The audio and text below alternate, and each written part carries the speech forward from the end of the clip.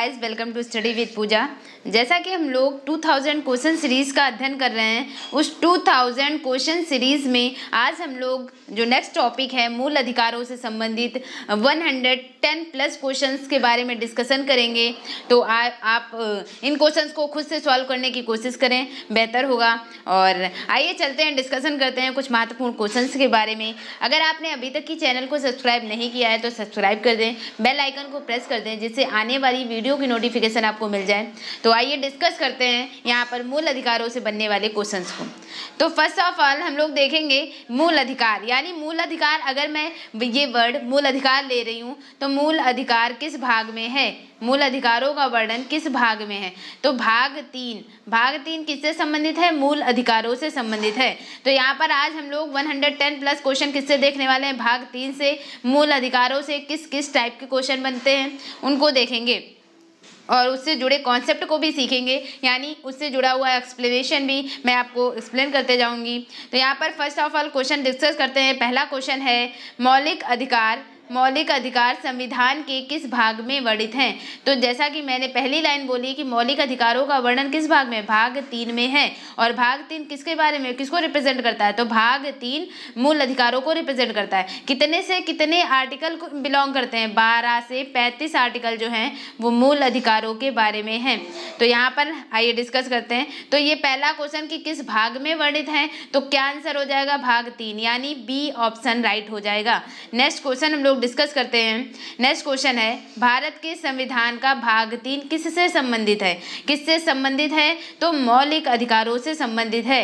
किससे संबंधित है? मौलिक अधिकारों से। और राज्य के नीति निर्देशक सिद्धांत ये किस भाग में है? तो भाग चार में राज्य की नीति निर्देशक तत्वों के बारे में उल्लेख किया गया छत्तीस से इक्यावन आर्टिकल में राज्य के नीति निर्देशक सिद्धांत हैं। डीपीएसपी जिन्हें कहते हैं। कहाँ से लिए गए डीपीएसपी तो आयरलैंड के संविधान से लिए गए। लेकिन जो ये मूल अधिकार है ये कहाँ से लिए गए, कहाँ से अडॉप्ट किए गए तो जो मूल अधिकार है वो अमेरिका के संविधान से लिए गए। अधिकार कहाँ से लिए गए? अमेरिका के संविधान से। और ये जो मूल कर्तव्य है, ये यूएसएसआर से लिए गए सोवियत संघ रूस से लिए गए, और जो ये नागरिकता है, नागरिकता, यानी हम नागरिकता का वर्णन किन, कितने से कितने आर्टिकल में? तो नागरिकता का वर्णन पाँच से ग्यारह आर्टिकल और नागरिकता भाग दो को रिप्रेजेंट करता है। जबकि जो मूल कर्तव्य है, मूल कर्तव्य भाग चार का और इक्यावन का आर्टिकल में मूल कर्तव्यों के बारे में उल्लेख किया गया है। तो यानी हमारा क्वेश्चन था कि संविधान का भाग तीन जो है, वो किससे संबंधित है? तो मूल अधिकारों से संबंधित है। टू का सी ऑप्शन राइट हो जाता है। अगर हम लोग यहाँ पर मूल अधिकारों की बात कर रहे हैं तो इससे जुड़े कुछ इंपॉर्टेंट फैक्ट देखते हैं।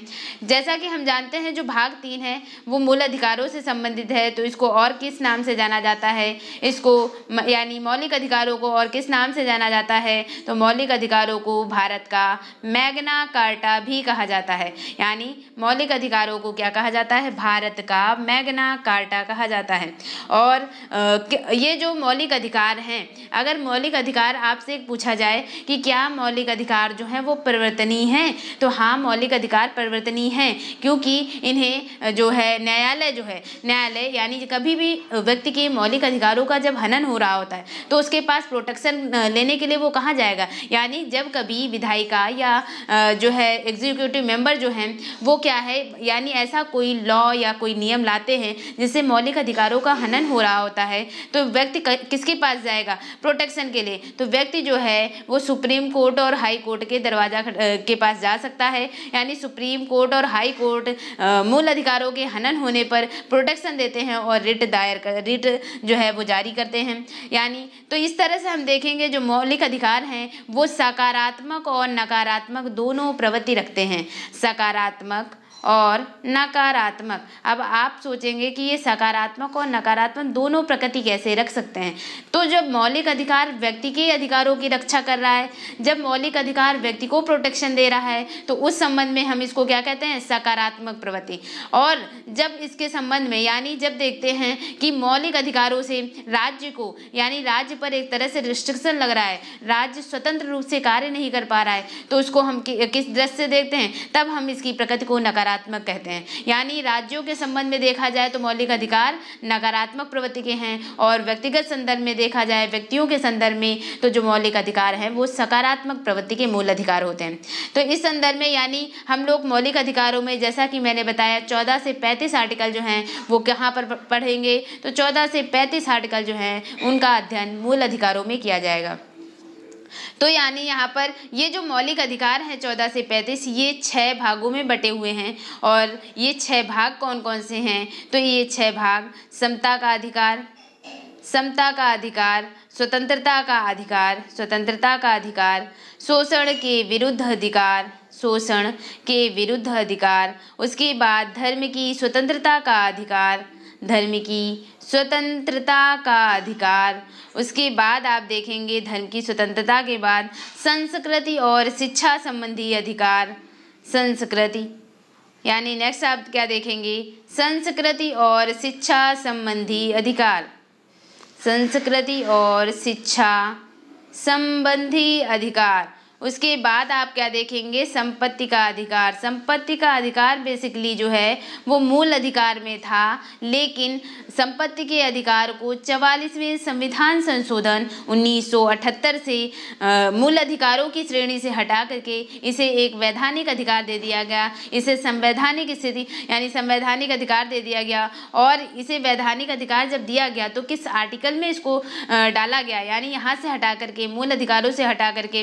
कहाँ पर संपत्ति के अधिकार को वैधानिक अधिकार बनाया गया तो 300 का आर्टिकल में इसको समाहित किया गया। 300 का आर्टिकल के थ्रू क्या लिखा गया है? संपत्ति का अधिकार, जो कि एक वैधानिक अधिकार है। तो इस तरह से, यानी किस संविधान संशोधन द्वारा संपत्ति का अधिकार हटाया गया? तो चवालीसवें संविधान संशोधन द्वारा। चवालीसवीं संविधान संशोधन द्वारा। तो इस तरह से आपने देखा कि मूल अधिकारों की प्रकृति सकारात्मक और नकारात्मक दोनों है। किस संदर्भ में नकारात्मक और किस संदर्भ में सकारात्मक, ये भी आपने देखा। उसके बाद आप देखते हैं जैसे कि मूल अधिकार जो हैं, मूल अधिकार यानी न्याय योग्य हैं। जब कभी मूल अधिकारों का हनन हो रहा है या तो यानी हम कहाँ पर जा रहे हैं तो हम न्यायालय जा सकते हैं, सुप्रीम कोर्ट और हाई कोर्ट जा सकते हैं। तो मूल अधिकार जो है, वो न्याय योग्य हैं और इसे न्यायालय द्वारा जो है परवर प्रवर्तित या लागू कराया जा सकता है। प्रवर्तित या लागू कराया जा सकता है। यानी न्यायालय के पास अधिकार है कि वो मूल अधिकारों को लागू कर सकती है, लागू करा सकती है। और ऐसे कानून, ऐसे नियम जो मूल अधिकारों का हनन कर रहे हों, उनको प्रतिबंधित कर रहे हों तो ऐसे कानूनों को रद्द कर सकती है। किसके पास राइट है? सुप्रीम कोर्ट के पास।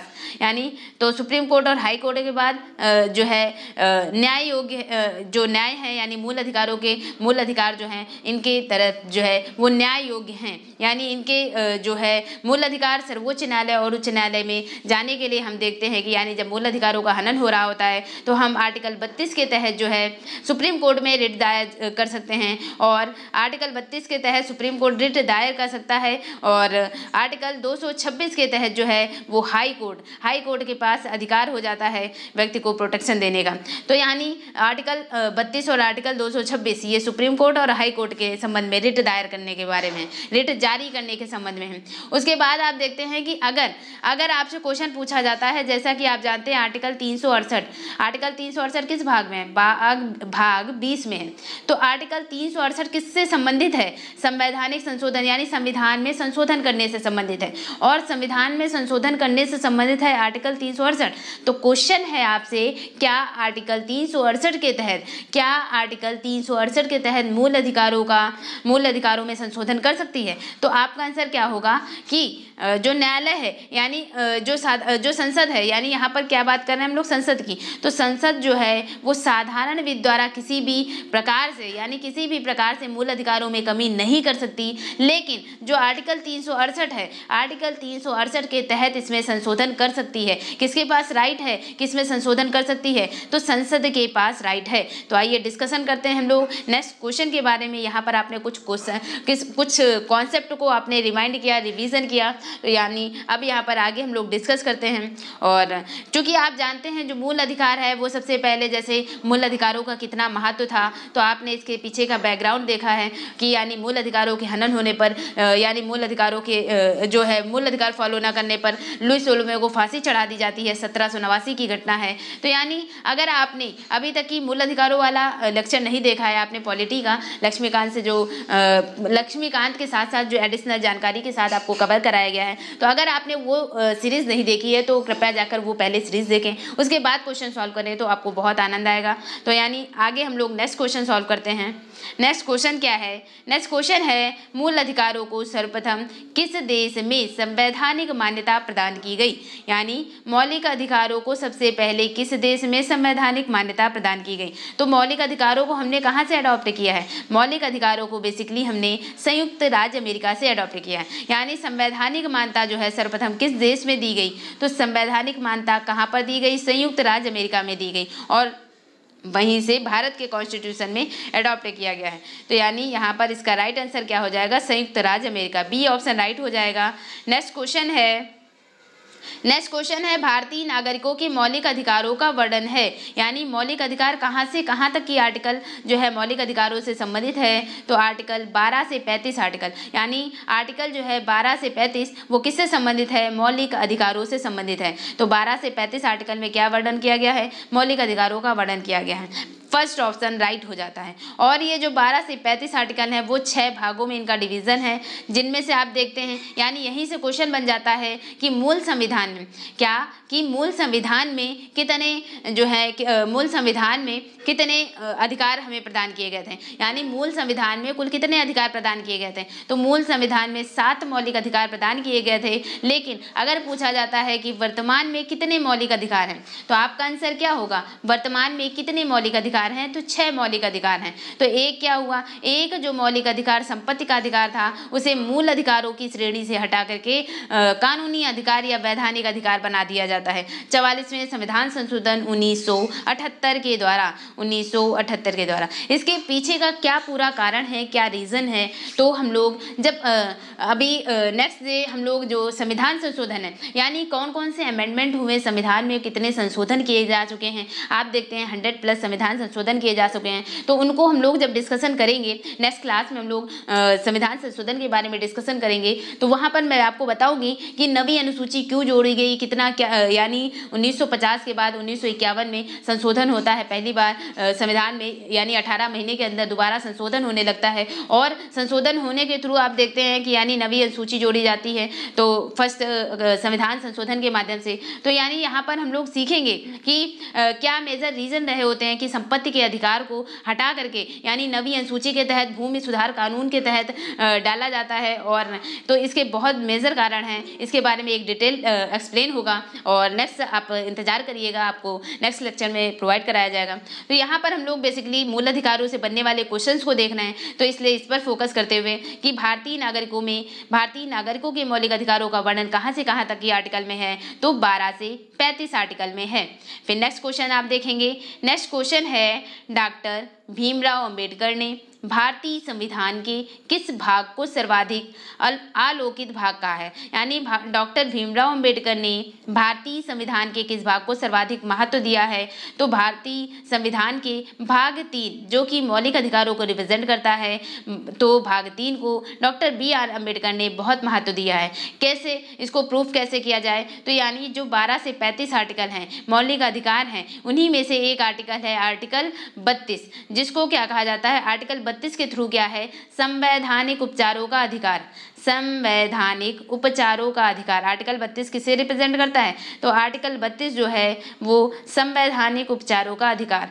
संवैधानिक उपचारों का अधिकार। और आप देखते हैं जो रिट दायर करने की, रिट जारी करने की जो शक्ति है, इन्हीं संवैधानिक उपचारों के थ्रू दी जाती है। आर्टिकल बत्तीस के तहत ही दी जाती है। यानी मूल अधिकारों के हनन होने पर जो कोई व्यक्ति जो है, वो सुप्रीम कोर्ट में शरण ले सकता है तो इस स्थिति में सुप्रीम कोर्ट पाँच प्रकार की रिटें दायर जो पाँच प्रकार की रिटें जारी कर सकता है। और मूल अधिकारों के हनन होने पर हाईकोर्ट जो है, वो दो सौ छब्बीस आर्टिकल के तहत ये पाँच प्रकार की रिट जारी कर सकता है। तो यानी ये कौन प्रोटेक्शन दे रहा? आर्टिकल बत्तीस। इसीलिए इसकी महत्ता को देखते हुए आर्टिकल बत्तीस की इतनी महत्ता को देखते हुए जो doctor B R Ambedkar Baba Saheb थे, उन्होंने आर्टिकल बत्तीस को संवैधानिक जो उपचारों का अधिकार है आर्टिकल बत्तीस, इसे संविधान की जो है, आत्मा कहा है। यानी तो संविधान की आत्मा डॉक्टर बी आर अंबेडकर के अनुसार आर्टिकल बत्तीस है। संवैधानिक उपचारों के अधिकार को उन्होंने जो है, संविधान की आत्मा कहा है। तो इस तरह से यहाँ पर क्या क्वेश्चन था?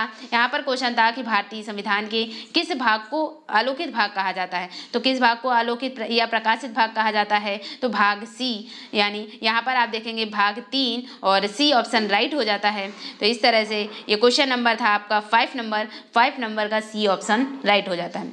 नेक्स्ट क्वेश्चन हम लोग डिस्कस करते हैं। नेक्स्ट क्वेश्चन है, मूल अधिकार मूल क्यों कहलाते हैं? यानी क्वेश्चन है, मूल अधिकार जो है, वो मूल क्यों कहलाते हैं? तो मूल अधिकार जो बेसिकली मूल इसलिए कहलाते हैं क्योंकि मूल अधिकार ऐसे हैं जिनको हम कोई भी राज्य सरकार जो है या कोई भी विधायिका का, या कार्यपालिका जो है उनका हनन नहीं कर सकती। क्योंकि वो इतने जो है वो उनकी इतनी ज़रूरत है। एक तरह से वो प्राकृतिक हैं अप्रतिदेय हैं यानी उनका हनन नहीं किया जा सकता। यानी अगर आपसे कोई कह दे कि आप बोलो नहीं तो आप बोलो नहीं अगर आपकी अभिव्यक्ति की स्वतंत्रता आपसे छीन ली जाए तो ये आपके मौलिक अधिकारों का हनन हो रहा है। अगर आपसे कहीं कहा जाए कि आपको अबाध विचरण की स्वतंत्रता जो है वो मौलिक अधिकारों में दी गई है तो आप देखते हैं कि धर्म मूल वंश जात के आधार पर भेदभाव ना करने की स्वतंत्रता दी गई, ना करने का जो है वो अधिकार दिया गया है। तो इस तरह से आप देखते हैं, जो मौलिक अधिकार हैं, वो एक तरह से प्राकृतिक हैं और अप्रतिदेय अधिकार प्रतीत होते हैं। तो इस तरह से सिक्स का कौन सा ऑप्शन राइट हो जाता है कि मौलिक अधिकार मूल क्यों कहलाते हैं? मूल इसलिए कहलाते हैं कि वो अप्रतिदेय हैं और एक तरह से प्राकृतिक हैं। यानी मानव के प्राकृतिक और अप्रतिदेय अधिकार हैं, मौलिक अधिकार। इसलिए इन्हें मूल कहा जाता है। तो इसका ऑप्शन सिक्स का डी ऑप्शन राइट हो जाता है। नेक्स्ट क्वेश्चन पर हम लोग डिस्कशन करते हैं। सेवन नंबर क्वेश्चन तो यहाँ पर हम लोग सेवन नंबर क्वेश्चन के बारे में डिस्कशन करेंगे। तो यहाँ पर सेवन नंबर क्वेश्चन है। सेवन नंबर क्वेश्चन है, भारतीय संविधान के, भारतीय संविधान के भाग तीन में कुल कितने अनुच्छेदों में मौलिक अधिकारों का वर्णन है? यानी भाग तीन में कुल कितने अनुच्छेद हैं? तो आप जानते हैं, अब देखिए, अगर आप यहाँ पर, अगर आपको हल्का सा भी कन्फ्यूज़न है कि कितने से कितने आर्टिकल में है तो आप बेसिकली कन्फ्यूज़ हो सकते हैं। तो यानी भाग तीन जो है मौलिक अधिकार में तो कितने आर्टिकल इसके अंतर्गत आ जाते हैं? आप जानते हैं भाग तीन में, यानी बारह से पैंतीस आर्टिकल आते हैं। तो बारह से पैंतीस आर्टिकल आते हैं तो कितने आर्टिकल इसके अंतर्गत आ जाएँगे? तो यानी आप बारह से बारह आठ, बीस तो आठ तो ये हो गए, यानी बारह के बाद, लेकिन बारहवा भी शामिल है आर्टिकल बारह, इसलिए यहाँ पर कितने हो गए? नौ हो गए। नौ ये हो गए और ये फिर उसके बाद बीस के बाद बीस से पैंतीस तक की, यानी कि पंद्रह ये हो गए। पंद्रह, नौ, चौबीस, यानी कितने आर्टिकल जो है भाग तीन से संबंधित है तो भाग तीन से कुल कितने जो है अनुच्छेद हैं, जो कितने अनुच्छेदों में मूल अधिकारों का वर्णन है तो चौबीस अनुच्छेदों में आपने देखा पैंतीस, बारह से पैंतीस जो है ये आर्टिकल जो है बारहवा और पैंतीसवां आर्टिकल भी ऐड किया जाएगा। इस बेसिस पर जो है वो टोटल कितने हैं? चौबीस। अगर आप थोड़ा सा भी कन्फ्यूज़ होते हैं तो आप तेईस, बाईस कुछ भी मार्क कर सकते हैं। तो इस तरह से यहाँ पर आप देखेंगे बारह और बारह से पैंतीस तक की, यानी कि यहाँ पर आप देखेंगे बारह से पैंतीस यानी ये नौ और ये पंद्रह। तो इस तरह से आपके चौबीस हैं आर्टिकल संबंधित, ठीक है? डी ऑप्शन राइट हो जाता है। नेक्स्ट क्वेश्चन है नेक्स्ट क्वेश्चन है, प्रारंभ में कितने मौलिक अधिकार दिए गए थे? तो जैसा कि मैंने डिस्कस किया कि प्रारंभ में जो है, सात मौलिक अधिकार थे। सात मौलिक अधिकार। आपको याद कर, कैसे रखना है कि मूल अधिकार कितने हैं या मूल कर्तव्य कितने हैं? तो आप जानते हैं कि अधिकार हमको कम होंगे। यानी आप बेसिकली इसको इजी वे में याद करने के लिए आप क्या कहें कि अधिकार व्यक्ति के कम होते हैं। तो अधिकार कम होंगे यानी कि सात जो है वो मूल अधिकार थे, मौलिक यानी मूल अधिकार, मूल संविधान में जो है सात मौलिक अधिकार थे। लेकिन बाद में यानी वर्तमान समय में कितने हैं? तो वर्तमान समय में छः मूल अधिकार हैं। तो अधिकार आपके पास कम है, लेकिन कर्तव्य आपको ज़्यादा करने हैं। कर्तव्य कितने करने हैं? ग्यारह। तो यानी आप याद रखें, कर्तव्य ग्यारह हैं, लेकिन अधिकार सिर्फ़ और सिर्फ़ छः हैं। अगर आपसे क्वेश्चन आता है कि कि मूल संविधान में कितने अधिकार दिए गए थे तो सात। यहाँ पर क्या क्वेश्चन है? यहाँ पर क्वेश्चन है, प्रारंभ में कितने मौलिक अधिकार थे? प्रारंभ का मतलब है, मूल संविधान की बात की जा रही है। तो मूल संविधान में या प्रारंभ में कितने मौलिक अधिकार थे? तो कितने मौलिक अधिकार दिए गए थे? तो सात मौलिक अधिकार दिए गए थे। यानी एट का बी ऑप्शन राइट हो जाता है। नेक्स्ट क्वेश्चन हम लोग डिस्कस करते हैं। नेक्स्ट क्वेश्चन है नाइन नंबर क्वेश्चन की वर्तमान में भारतीय नागरिकों को कितने मौलिक अधिकार प्राप्त हैं? क्वेश्चन क्या है कि वर्तमान में भारतीय नागरिकों को कितने मौलिक अधिकार प्राप्त हैं? तो मूल संविधान में सात और वर्तमान में छः कौन सा एक नहीं है? संपत्ति का अधिकार जो है, अब मूल अधिकारों की श्रेणी में नहीं आता है। फिर नेक्स्ट आप देखेंगे नेक्स्ट क्या क्वेश्चन है? भारत के संविधान में मौलिक अधिकार। यानी भारत के संविधान में मौलिक अधिकार किस भाग में है? भाग तीन में है। और यहाँ पर पूछा जा रहा है, मूल संविधान का हिस्सा था मौलिक अधिकार, कि चौथे संविधान संविधान संशोधन द्वारा जोड़ा गया, कि उन्नीस बावन में जोड़ा गया, या फिर बयालीसवें संविधान संशोधन द्वारा। तो डियर एस्पिरेंट आप कंफ्यूज मत होइएगा, क्योंकि मौलिक अधिकार, जो कि आपने देखा अप्रतिदेय हैं, यानी एक तरह से प्राकृतिक हैं। तो ये जो मौलिक अधिकार हैं, ये मूल संविधान में हमें दिए गए थे, ना कि कहीं से अडॉप्ट किए गए। इसी जगह अगर आपके पास आ जाता है मौलिक कर्तव्य तो मौलिक कर्तव्य आपने बाद में उसमें संविधान संशोधन के माध्यम से जोड़ा है मौलिक कर्तव्य। बयालीसवें संविधान संशोधन के माध्यम से जोड़ा है मौलिक कर्तव्य। लेकिन यहाँ पर मौलिक अधिकार की बात चल रही है तो मौलिक अधिकार जो है, वो हमारे मूल संविधान का हिस्सा थे। यानी टेन का ए ऑप्शन राइट हो जाता है तो आप ये कंफ्यूज होकर मत लगाइएगा बयालीसवां संविधान संशोधन। बयालीसवां संविधान संशोधन जो है, हालाँकि इसमें मेजर चेंजमेंट हुए और इसे मिनी कॉन्स्टिट्यूशन लघु संविधान की संज्ञा दी जाती है और इसमें साठ से ज़्यादा अनुच्छेद जो है, साठ अनुच्छेदों को परिवर्तित किया जाता है। किस संविधान संशोधन के माध्यम से? बयालीसवें संविधान संशोधन के माध्यम से। किसकी सरकार होती है इतने समय? यानी यहाँ पर जो है, इंदिरा गांधी की सरकार होती है। और जो इस समय, जिस समय ये संविधान संशोधन किया गया, बयालीसवां संविधान संशोधन जो है, वो कब किया गया? उन्नीस सौ छिहत्तर में। और उस समय देश की स्थिति क्या थी? उस समय देश में आपातकाल लगा हुआ था। इमरजेंसी लगी हुई थी। तीसरी इमरजेंसी जो तीसरा राष्ट्रीय आपातकाल है, तीसरी इमरजेंसी लगी हुई थी कब? उन्नीस और उसी दौरान, यानी आपातकाल के दौरान ही, जब बड़े बड़े नेता जो हैं, वो जेल में थे, उसी दौरान ही आप देखते हैं, इतना बड़ा संविधान संशोधन है और इतना बड़ा संविधान संशोधन कर दिया जाता है, जिसमें साठ अनुच्छेदों को प्रवृत्ति कर दिया जाता है। और एक तरह से जो सरकार है, वो सरकार जो है, अपने अंदर अपने, यानी जो है जुडिशरी की पावर भी अपने अंदर ही, यानी वो जो है अपने को सुपीरियर साबित करना चाहती थी जुडिशरी से। तो इस तरह से आप देखते हैं कि बयालीसवें संविधान में मेजर चेंजमेंट किए जाते हैं। और फिर उसके बाद, बयालीसवें के बाद उन्नीस सौ अठहत्तर में जब इमरजेंसी हटती है तो यानी इमरजेंसी हटने के बाद राष्ट्रीय मोर्चा सरकार आती है और चवालीसवां संविधान संशोधन के तहत सारी चीज़ें फिर से बहाल की जाती हैं। यानी बयालीसवें संविधान संशोधन की कमियों को दूर करके चवालीसवें संविधान संशोधन में जोड़ा जाता है और जो कुछ जो एडिशन कर दी गई थी गलत चीज़ें उन्हें हटाया जाता है चवालीसवें संविधान संशोधन में। यानी इसका सुदृढ़ रूप आता है चवालीसवां संविधान संशोधन। तो इस तरह से आप देखेंगे कि भारत के संविधान में मौलिक अधिकार है। तो भारत के संविधान में जो मौलिक अधिकार है, वो मूल संविधान का हिस्सा था। ए ऑप्शन यहाँ पर राइट हो जाता है, टेन का ए ऑप्शन। नेक्स्ट क्वेश्चन क्या है? नेक्स्ट क्वेश्चन है, भारतीय संविधान में न्यायालय में कौन प्रवर्तनीय है? यानी, भारतीय संविधान में न्यायालय में कौन प्रवर्तनीय है? कौन जो है प्रवर्तनीय, यानी प्रवर्तनीय का सेंस क्या होता है? लागू करने। यानी जो है, भारतीय संविधान में जो न्यायालय है, किनको लागू कर सकता है या किनको लागू कर सकता है? तो किन्हें लागू करने का अधिकार है, प्रवर्तन करने का अधिकार है तो भारतीय संविधान में जो न्यायालय है, उसे मूल अधिकारों को, मूल अधिकारों को प्रवर्तन करने का अधिकार है, लागू करने का अधिकार है। और आप देखते हैं कि जब मूल अधिकार मूल अधिकारों का हमारे हनन हो रहा होता है तो हम किसके आ, किसके पास जाते हैं? सुप्रीम कोर्ट और हाई कोर्ट के पास जाते हैं। तो यानी तो न्यायालय जो है वो किसमें परिवर्तन कर सकता है किसे लागू कर सकता है? प्रवर्तनी। यहाँ परिवर्तन नहीं वर्ड है प्रवर्तनी। प्रवर्तनी का सेंस पता क्या होता है? प्रवर्तनी मतलब लागू करना। लागू कर सकता है कौन? न्यायालय लागू कर सकता है। किसे? मूल अधिकारों को लागू कर सकता है। तो आपने देखा आर्टिकल बत्तीस और आर्टिकल दो सौ छब्बीस के तहत उच्च न्यायालय और आर्टिकल बत्तीस के तहत जो है वो सुप्रीम कोर्ट प्रोटेक्शन देता है। तो यहाँ पर इसके अंतर्गत क्या हो जाएगा कि भारतीय संविधान में न्यायालय में कौन प्रवर्तनी है? तो डी ऑप्शन राइट हो जाएगा मूल अधिकार। यानी इलेवन का डी ऑप्शन राइट हो जाता है। नेक्स्ट क्वेश्चन है नेक्स्ट क्वेश्चन है, मौलिक अधिकारों को लागू करने का दायित्व है। तो मौलिक अधिकारों को लागू करने का दायित्व किसके पास है? कौन लागू करवा लागू करवाएगा?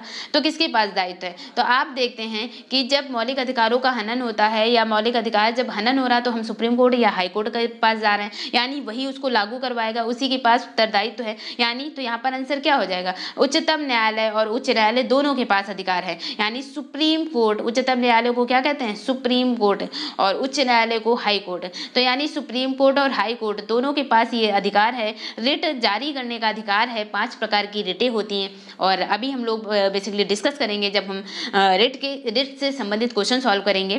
तो अभी कुछ मिनट बाद तो यहाँ पर आप देखेंगे कि मौलिक अधिकारों को लागू करने का दायित्व तो किसके पास है? सुप्रीम कोर्ट और हाई कोर्ट के पास, यानी उच्चतम न्यायालय और उच्च न्यायालय के पास। तो यहाँ पर राइट क्या हो जाएगा? ए और बी दोनों, यानी उपरयुक्त दोनों सी ऑप्शन राइट हो जाता है कि मौलिक अधिकार लागू करने का दायित्व तो किसके पास है? तो इसके संबंध में सी ऑप्शन राइट हो जाता है। नेक्स्ट क्वेश्चन क्या है? नेक्स्ट क्वेश्चन है, मौलिक अधिकारों को निलंबन कौन कर सकता है? तो निलंबन मतलब जो है एक तरह से कह देते हैं, जैसे निलंबन यानी हट हटाना या विघटन करना। तो मौलिक अधिकार कब खत्म किए कब खत्म खत्म कौन कर सकता है? एक तरह से कहते हैं निलंबन को साधारण भाषा आमतौर की भाषा में क्या कहेंगे? ये तो कॉन्स्टिट्यूशन की भाषा हो गई, संविधान की भाषा है कि निलंबन। और यानी उसमें जैसे निलंबन हो गया, विघटन हो गया, सत्रावसान, ये किसकी भाषा है? ये कॉन्स्टिट्यूशन की भाषा है जो है संविधान की भाषा है। लेकिन यानी निलंबन का मतलब समाप्त करने से सेंस आप लें साधारण भाषा में तो मौलिक अधिकारों को कौन समाप्त कर सकता है? तो किसके पास राइट है? तो किसके पास राइट है? तो आप जानते हैं कि इमरजेंसी जब लगती है, यानी तीन सौ बावन, तीन सौ बावन के तहत आर्टिकल तीन सौ बावन है राष्ट्रीय आपातकाल, और तीन सौ बावन, तीन सौ छप्पन, तीन सौ छप्पन के तहत राज्य आपातकाल, और तीन सौ साठ जो है वो वित्तीय आपातकाल दर्शाता है। तो यानी आपको पता है कि जब इमरजेंसी लगती है, यानी आपातकाल की कंडीशन में आपातकाल की स्थिति में जो है, आपातकाल की स्थिति में या इमरजेंसी लगने पर हमारे मौलिक अधिकार जो है, वो स्वतः ही समाप्त हो जाते हैं। मौलिक अधिकार यानी कब स्वतः समाप्त हो जाते हैं? जैसा कि सैन्य विद्रोह हो हो गया, युद्ध आक्रमण की स्थिति हो, आपातकाल की स्थिति हो तो यानी अगर अगर आपके यहाँ मोहल्ले में कर्फ्यू लग जाता है तो आपको क्या होता है? बाहर निकलने को मना किया जाता है। तो अगर आप यहाँ पर कहेंगे कि ये मेरा जो है मौलिक अधिकार है, मेरा राइट है कि मैं कहीं भी घूम सकता हूँ, विचरण कर सकता हूँ, लेकिन इस दौरान आपातकाल हो गया, कर्फ्यू हो गया सैन्य विद्रोह हो गया। तो इस कंडीशन में आपके मौलिक अधिकारों को जो है मौलिक अधिकारों का हनन होता है। लेकिन आप इसके खिलाफ जो है कोर्ट केस या कोर्ट न्यायालय नहीं जा सकते क्योंकि जो मौलिक अधिकार है यानी यहाँ पर कब ऐसी कंडीशन आती है जब मौलिक अधिकारों का निलंबन होता है तो आप देखते हैं आपातकाल या सैन्य विद्रोह की स्थिति में। तो इसे करता कौन है आपात यानी एक तरह से मौलिक अधिकारों का निलंबन करता क्यों है? करता कौन है? क्योंकि आपातकाल के दौरान जो मौलिक अधिकार है वो स्वतः समाप्त हो जाते हैं। तो स्वतः समाप्त हो जाते हैं, यानी इनका निलंबन कौन कर सकता है? तो राष्ट्रपति के पास पावर है। क्योंकि आपातकाल कौन जारी करेगा? किसकी किसके सिग्नेचर से आपातकाल जारी होंगे? तो राष्ट्रीय आपात, राष्ट्रपति के आपातकाल से, यानी राष्ट्रपति के सिग्नेचर से। तो राष्ट्रपति के सिग्नेचर से, यानी निलंबन करने का भी अधिकार किसके पास है? राष्ट्रपति के पास अधिकार है। तो थर्टीन का सी ऑप्शन राइट हो जाता है कि मौलिक अधिकारों का निलंबन कौन कर सकता है? तो राष्ट्रपति कर सकता है। कुछ मौलिक अधिकार, जैसे बीस और जो बीस और बाईस आर्टिकल हैं वो जो है आपातकाल के दौरान अगर आपसे क्वेश्चन पूछा जाता है, अगर आपसे क्वेश्चन क्या पूछा जाता है कि मौलिक अधिकारों में से किन मौलिक अधिकारों का जो है, कौन से मौलिक अधिकार समाप्त नहीं होते हैं? और आपातकाल के दौरान, यानी क्वेश्चन क्या हो जाता है कि आपातकाल के दौरान भी कौन से दो मूल अधिकार जो हैं वो यानी दो आर्टिकल होते बीस और इक्कीस आर्टिकल। तो इक्कीस क्या है? प्राण और दैहिक स्वतंत्रता। आर्टिकल इक्कीस क्या है? प्राण और दैहिक स्वतंत्रता। तो इक्कीस क्या है? प्राण और दैहिक स्वतंत्रता, जबकि यानी दो आर्टिकल 20 और 21 यानी दो आर्टिकल कौन कौन से? 20 और 21 बीस और इक्कीस आर्टिकल जो है, वो बीस और इक्कीस आर्टिकल जो है, वो यानी आपसे क्वेश्चन पूछा जाता है, किस संविधान संशोधन द्वारा, यानी किस संविधान संशोधन द्वारा यह उपबंध किया गया कि आपातकाल के दौरान भी जो है आपातकाल के दौरान भी आर्टिकल बीस और इक्कीस निलंबित नहीं किए जाते हैं। तो आर्टिकल बीस और इक्कीस भी निलंबित नहीं किए जाते हैं, ये किस संविधान संशोधन द्वारा प्रावधान किया गया? तो चवालीसवें संविधान चवालीसवें संविधान संशोधन द्वारा। और चवालीसवां संविधान संशोधन कब हुआ? तो चवालीसवां संविधान संशोधन जो है, वो 1978 में हुआ। तो यानी आपसे क्वेश्चन क्या पूछा जाएगा कि किस किस संविधान संशोधन द्वारा जो है, किस संविधान संशोधन द्वारा यह उपबंध किया गया कि आपातकाल के दौरान भी आर्टिकल 20 और 21 जो है, वो निलंबित नहीं किए जा सकते हैं। तो चवालीसवें संविधान संशोधन उन्नीस सौ अठहत्तर द्वारा। तो आपने देखा, निलंबन करने का राइट किसके पास है? राष्ट्रपति के पास है। लेकिन आपात आपातकाल की स्थिति में भी कौन से दो मौलिक अधिकार जो है वो निलंबित नहीं किए जाते? तो 20 और 21 आर्टिकल। ठीक है। नेक्स्ट क्वेश्चन क्या है? थर्टीन के बाद हम लोग फोर्टीन नंबर क्वेश्चन डिस्कस करते हैं। तो फोर्टीन नंबर क्वेश्चन है मौलिक अधिकारों के बारे में सुनवाई करने का अधिकार किसको प्रदान किया गया है? यानी मौलिक अधिकारों के बारे में सुनवाई करने का अधिकार किसे दिया गया है? तो किसे दिया गया है? आपके पास ऑप्शन है सर्वोच्च न्यायालय, उच्च न्यायालय और प्रधानमंत्री, या फिर इनमें से कोई नहीं। तो मौलिक अधिकारों के बारे में सुनवाई करने का अधिकार किसके पास है? सुप्रीम कोर्ट के पास। यानी आप सोचोगे कि हाई कोर्ट और सुप्रीम कोर्ट दोनों के पास रिट दायर करने, यानी रिट जारी करने की शक्ति है। और यहाँ पर आपको एक ऑप्शन चुनना है कि मौलिक अधिकारों के बारे में सुनवाई करने का अधिकार किसको प्रदान किया गया है? तो किसको, यानी ए और बी दोनों ऑप्शन होते तो आप ए और बी दोनों ऑप्शन लगाते यहाँ पर। यहाँ पर आप सर्वोच्च न्यायालय और उच्च न्यायालय यानी ए और बी दोनों ऑप्शन राइट हैं यहाँ पर। और यहाँ पर यहाँ पर कोई ऑप्शन नहीं दिया तो इनमें से कोई आप लगा सकते हैं, इनमें से कोई नहीं। लेकिन यहाँ पर आपको सर्वोच्च न्यायालय और उच्च न्यायालय, ये दोनों को अधिकार दिया गया है, मौलिक अधिकारों के बारे में सुनवाई करने का अधिकार। तो अगर यहाँ पर कुछ, किस टाइप के क्वेश्चन जैसा मैंने बताया कि जो है किस संविधान संशोधन द्वारा जो बीस और इक्कीस आर्टिकल जो है वो निलंबित नहीं किए जाते हैं आपातकाल के दौरान भी तो चवालीसवां संविधान संशोधन। और जैसे कि इसी से संबंधित आर्टिकल जैसे आर्टिकल 19 तो क्वेश्चन क्या बनता है कि किन आधारों पर घोषित यानी किन आधारों पर घोषित आपातकाल के दौरान जो आर्टिकल 21 है आर्टिकल 21 अपने आप समाप्त हो जाएगा, यानी स्वतः निलंबित हो जाएगा। तो किस आधार पर आर्टिकल 19 स्वतः निलंबित हो जाएगा? तो आप ऑप्शन क्या होगा? युद्ध और बाह्य आक्रमण। युद्ध और बाह्य आक्रमण की स्थिति में जो है आर्टिकल उन्नीस आर्टिकल उन्नीस में क्या है? छह प्रकार की स्वतंत्रताएँ हैं। कौन कौन सी छह प्रकार की स्वतंत्रता? वाक्य एवं अभिव्यक्ति की स्वतंत्रता शांत, निरायुद्ध, सम्मेलन करने की स्वतंत्रता अबाध विचरण की स्वतंत्रता और व्यापार करने की स्वतंत्रता। तो यहाँ पर जो आर्टिकल 19 है, उन्हीं में से आर्टिकल 19 में से एक अधिकार, एक स्वतंत्रता हमारी हटा दी गई थी संपत्ति के अधिकार को। तो यहाँ पर छः जो है वो स्वतंत्रताएँ प्राप्त हैं हमें आर्टिकल 19 के तहत। तो उनमें से, यानी यहाँ पर आपके पास क्वेश्चन क्या था कि जो आर्टिकल 19 है वो स्वतः निलंबित हो जाता, किन परिस्थितियों में? जब युद्ध और बाह्य आक्रमण की स्थिति होती है। यहीं पर क्वेश्चन कैसे घुमाया जाता है, मैं ये डिस्कस करना चाह रही हूँ। यहाँ पर ये क्वेश्चन हो जाता है कि किस आधार पर जो घोषित आपात है, आर्टिकल 19 है, वो निलंबित नहीं होगा, स्वतः निलंबित नहीं होगा। किन परिस्थितियों में? जब सशस्त्र विद्रोह आ जाए। सशस्त्र विद्रोह के आधार पर जो है, सशस्त्र विद्रोह के आधार पर जो है, आर्टिकल 19 स्वतः निलंबित नहीं होगा। जबकि युद्ध और बाह्य आक्रमण के आधार पर, युद्ध और बाह्य आक्रमण के आधार पर आर्टिकल उन्नीस स्वतः निलंबित हो जाता है और सशस्त्र विद्रोह पर निलंबित नहीं होगा। नेक्स्ट क्वेश्चन हम लोग यहाँ पर डिस्कस करते हैं। नेक्स्ट क्वेश्चन क्या था? नेक्स्ट क्वेश्चन है फिफ्टीन नंबर क्वेश्चन संविधान में उद्घोषित मौलिक अधिकारों में संशोधन किया जा सकता है। तो यानी संविधान में उद्घोषित जो मौलिक अधिकार हैं, उनमें संशोधन किया जा सकता है। किसके द्वारा संशोधन किया जा सकता है? यानी किसके माध्यम से संशोधन किया जा सकता है? जैसा कि मैंने बताया कि जो मौलिक अधिकार हैं, मौलिक अधिकार जो हैं, वो न्यायालय में, यानी मौलिक अधिकारों की प्रकृति कैसी है? न्याय योग्य प्रकृति है। यानी न्याय योग्य प्रकृति। इसका मतलब है कि जो मौलिक अधिकार हैं, जो मौलिक अधिकार हैं, वो न्याय योग्य हैं और इसे न्यायालय द्वारा प्रवर्तित यानी लागू कराया जा सकता है। लागू कराया जा सकता है किसके माध्यम से? न्यायालय द्वारा प्रवर्तित कह दें या लागू? क्योंकि लागू आप कॉमन वर्ड होता है, आप जानते हैं। तो प्रवर्तित जब बोलेंगे आप तो दो तीन बार आपको कनेक्ट करने लगेंगे कि प्रवर्तित किसके लिए लागू लागू शब्द के लिए यूज़ किया जा रहा है, प्रवर्तित वर्ड तो यानी न्यायालय द्वारा प्रवर्तित कराया जा सकता है। किसको? जो है मौलिक अधिकारों को प्रवर्तित कराया जा सकता है।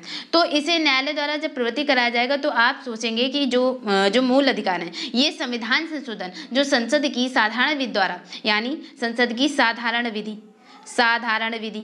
और साधारण विधि द्वारा जो है, साधारण विधि द्वारा इनमें कमी नहीं की जाएगी किसमें? मौलिक अधिकारों में। लेकिन हाँ आर्टिकल तीन सौ अड़सठ जो है तो आर्टिकल तीन सौ अड़सठ जो है, वो संशोधन, आर्टिकल तीन सौ अड़सठ के तहत संसद के पास ये राइट है कि वो मौलिक अधिकारों में संशोधन कर सकती है। मौलिक अधिकारों का संशोधन कर सकती है, लेकिन मौलिक अधिकारों को छोड़ नहीं सकती, अधित्याग नहीं कर सकती है उनका, यानी उन्हें हटा नहीं सकती है। ये राइट नहीं है हटाने का, लेकिन संशोधन करने का अधिकार है संसद के पास तो यहाँ पर क्या है कि मौलिक अधिकारों में संशोधन किसके माध्यम से किया जा सकता है? तो किसके पास अधिकार है? संसद के पास अधिकार है। यानी आपने देखा मौलिक अधिकारों को निलंबित करने का अधिकार किसके पास था? तो राष्ट्रपति के पास। मौलिक अधिकारों को जो है मौलिक अधिकारों में संशोधन किसके पास राइट है? तो संसद द्वारा। और मौलिक अधिकारों को लागू कौन करा रहा? लागू कौन करा रहा है? तो न्यायपालिका, यानी सर्वोच्च न्यायालय और उच्च न्यायालय। सर्वोच्च न्यायालय के पास राइट है। तो आपके पास तीन क्वेश्चन, लागू कराएगा सर्वोच्च न्यायालय और संशोधन करेगा संसद। और निलंबित किसके पास अधिकार है? निलंबित करेगा राष्ट्रपति।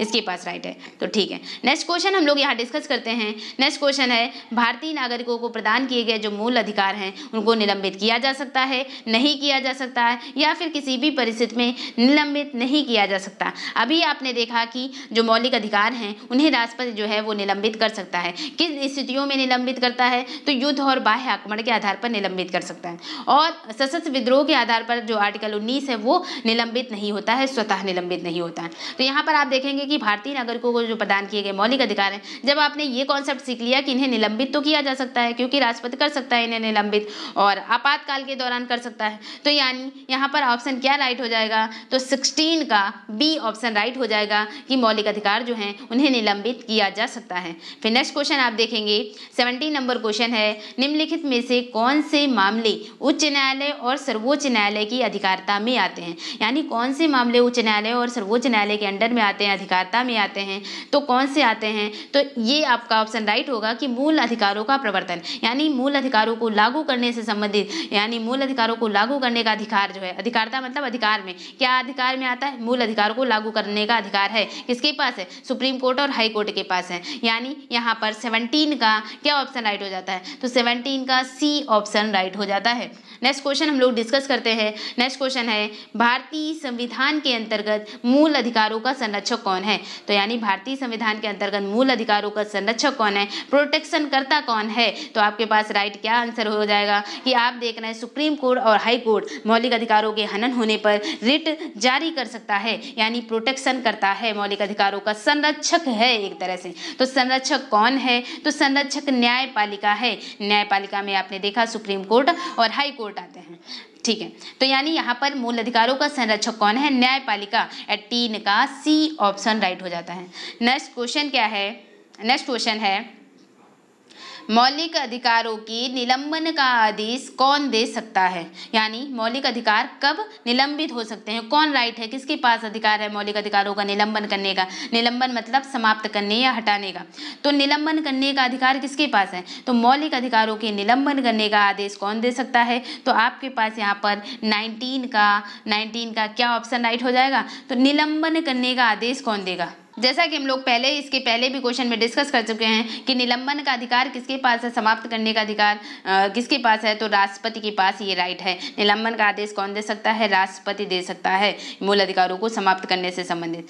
तो क्योंकि राष्ट्रीय आपातकाल लगाने का अधिकार जो है वो किसके पास है? राष्ट्रपति के पास अधिकार है। राष्ट्रपति के हस्ताक्षर से ही राष्ट्रीय आपातकाल लगेगा या राज्य आपातकाल लगेगा। तो आपने देखा यानी राज्य आपातकाल जो है वो राज्यों में लगता है बेसिकली राज्य आपातकाल जो है वो राज्यों में लगता है, जिसको हम लोग क्या कहते हैं? राष्ट्रपति शासन कहते हैं। और ये जो राज्य आपातकाल होता है, वो पर्टिकुलर किसी राज्य में लगता है। यानी पूरे भारत में उस समय कुछ चेंजमेंट नहीं किया जाएगा। उसमें राज्य आपातकाल यानी जो राष्ट्रपति शासन है आर्टिकल तीन सौ छप्पन के तहत तो आर्टिकल तीन सौ छप्पन के तहत ये किसी पर्टिकुलर स्टेट में लगता है। और उस पर्टिकुलर स्टेट में अगर जो कार्यपालिका है, यानी जो कार्यपालिका है और राज्यपाल के मध्य, यानी विवाद की स्थिति स्थिति में, विवाद की स्थिति में राज्यपाल जो है, वो राष्ट्रपति के पास जो है सूचना भेजता है कि वो यहाँ पर शासन चलाने में जो है, वो सक्षम नहीं हो पा रहा। यानी शासन सही से नहीं कर पा रहा। तो इस कंडीशन में क्या होता है? इस कंडीशन में वहाँ पर राष्ट्रपति शासन लग जाता है। तो राष्ट्रपति शासन जो है, वो कौन लगाएगा? राष्ट्रपति शासन जो है, वो राज्यों में लगता है। और आर्टिकल तीन सौ छप्पन के तहत लगता है, जबकि राष्ट्रीय आपातकाल तीन सौ बावन के तहत है। तो यानी यहाँ पर क्या अधिकार क्या राइट हो जाएगा?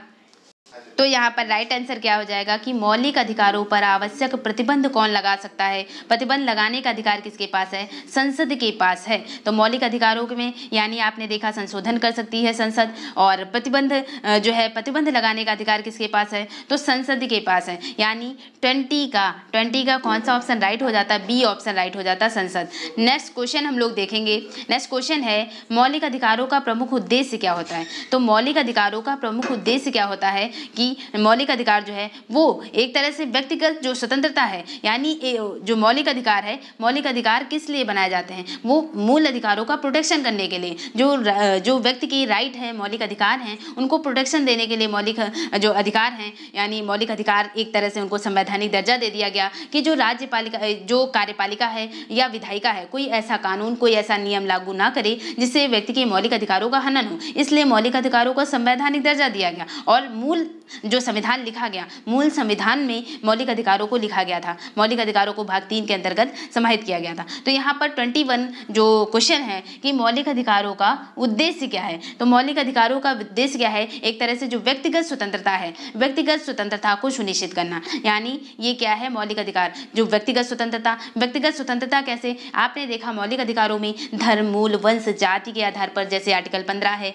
आर्टिकल पंद्रह में धर्म, मूल, वंश, जाति के आधार पर विभेद करने पर प्रतिषेध लगाया गया है। आर्टिकल चौदह, विधि के समक्ष समानता की बात करता है और इसी तरह से आपने देखा, अस्पृश्यता का अंत आर्टिकल सत्रह क्या है? आर्टिकल सत्रह जो है, वो अस्पृश्यता का अंत, यानी छुआछूत का अंत करता है। आर्टिकल अठारह जो है, आर्टिकल अठारह जो है, वो उपाधियों का अंत करता है। उसी तरह से आपने आर्टिकल उन्नीस देखा। उन्नीस में क्या है? छह प्रकार की स्वतंत्रताएँ। अबाध, विचरण की स्वतंत्रता, बोलने की स्वतंत्रता वाक एवं अभिव्यक्ति की स्वतंत्रता, शांति, निरायुद्ध, सम्मेलन करने की स्वतंत्रता, ये आर्टिकल उन्नीस में छह प्रकार की स्वतंत्रताएँ हैं। तो इस तरह से आप देखते हैं, यानी शोषण के विरुद्ध जो है अधिकार दिया गया है, जो मौलिक अधिकारों में है, शोषण के विरुद्ध स्वतंत्रता, शोषण के विरुद्ध अधिकार की स्वतंत्रता दी गई है। तो यानी यहाँ पर आप देखते हैं कि मौलिक अधिकार का उद्देश्य क्या है, जो व्यक्तिगत स्वतंत्रता है, उसको सुनिश्चित करना।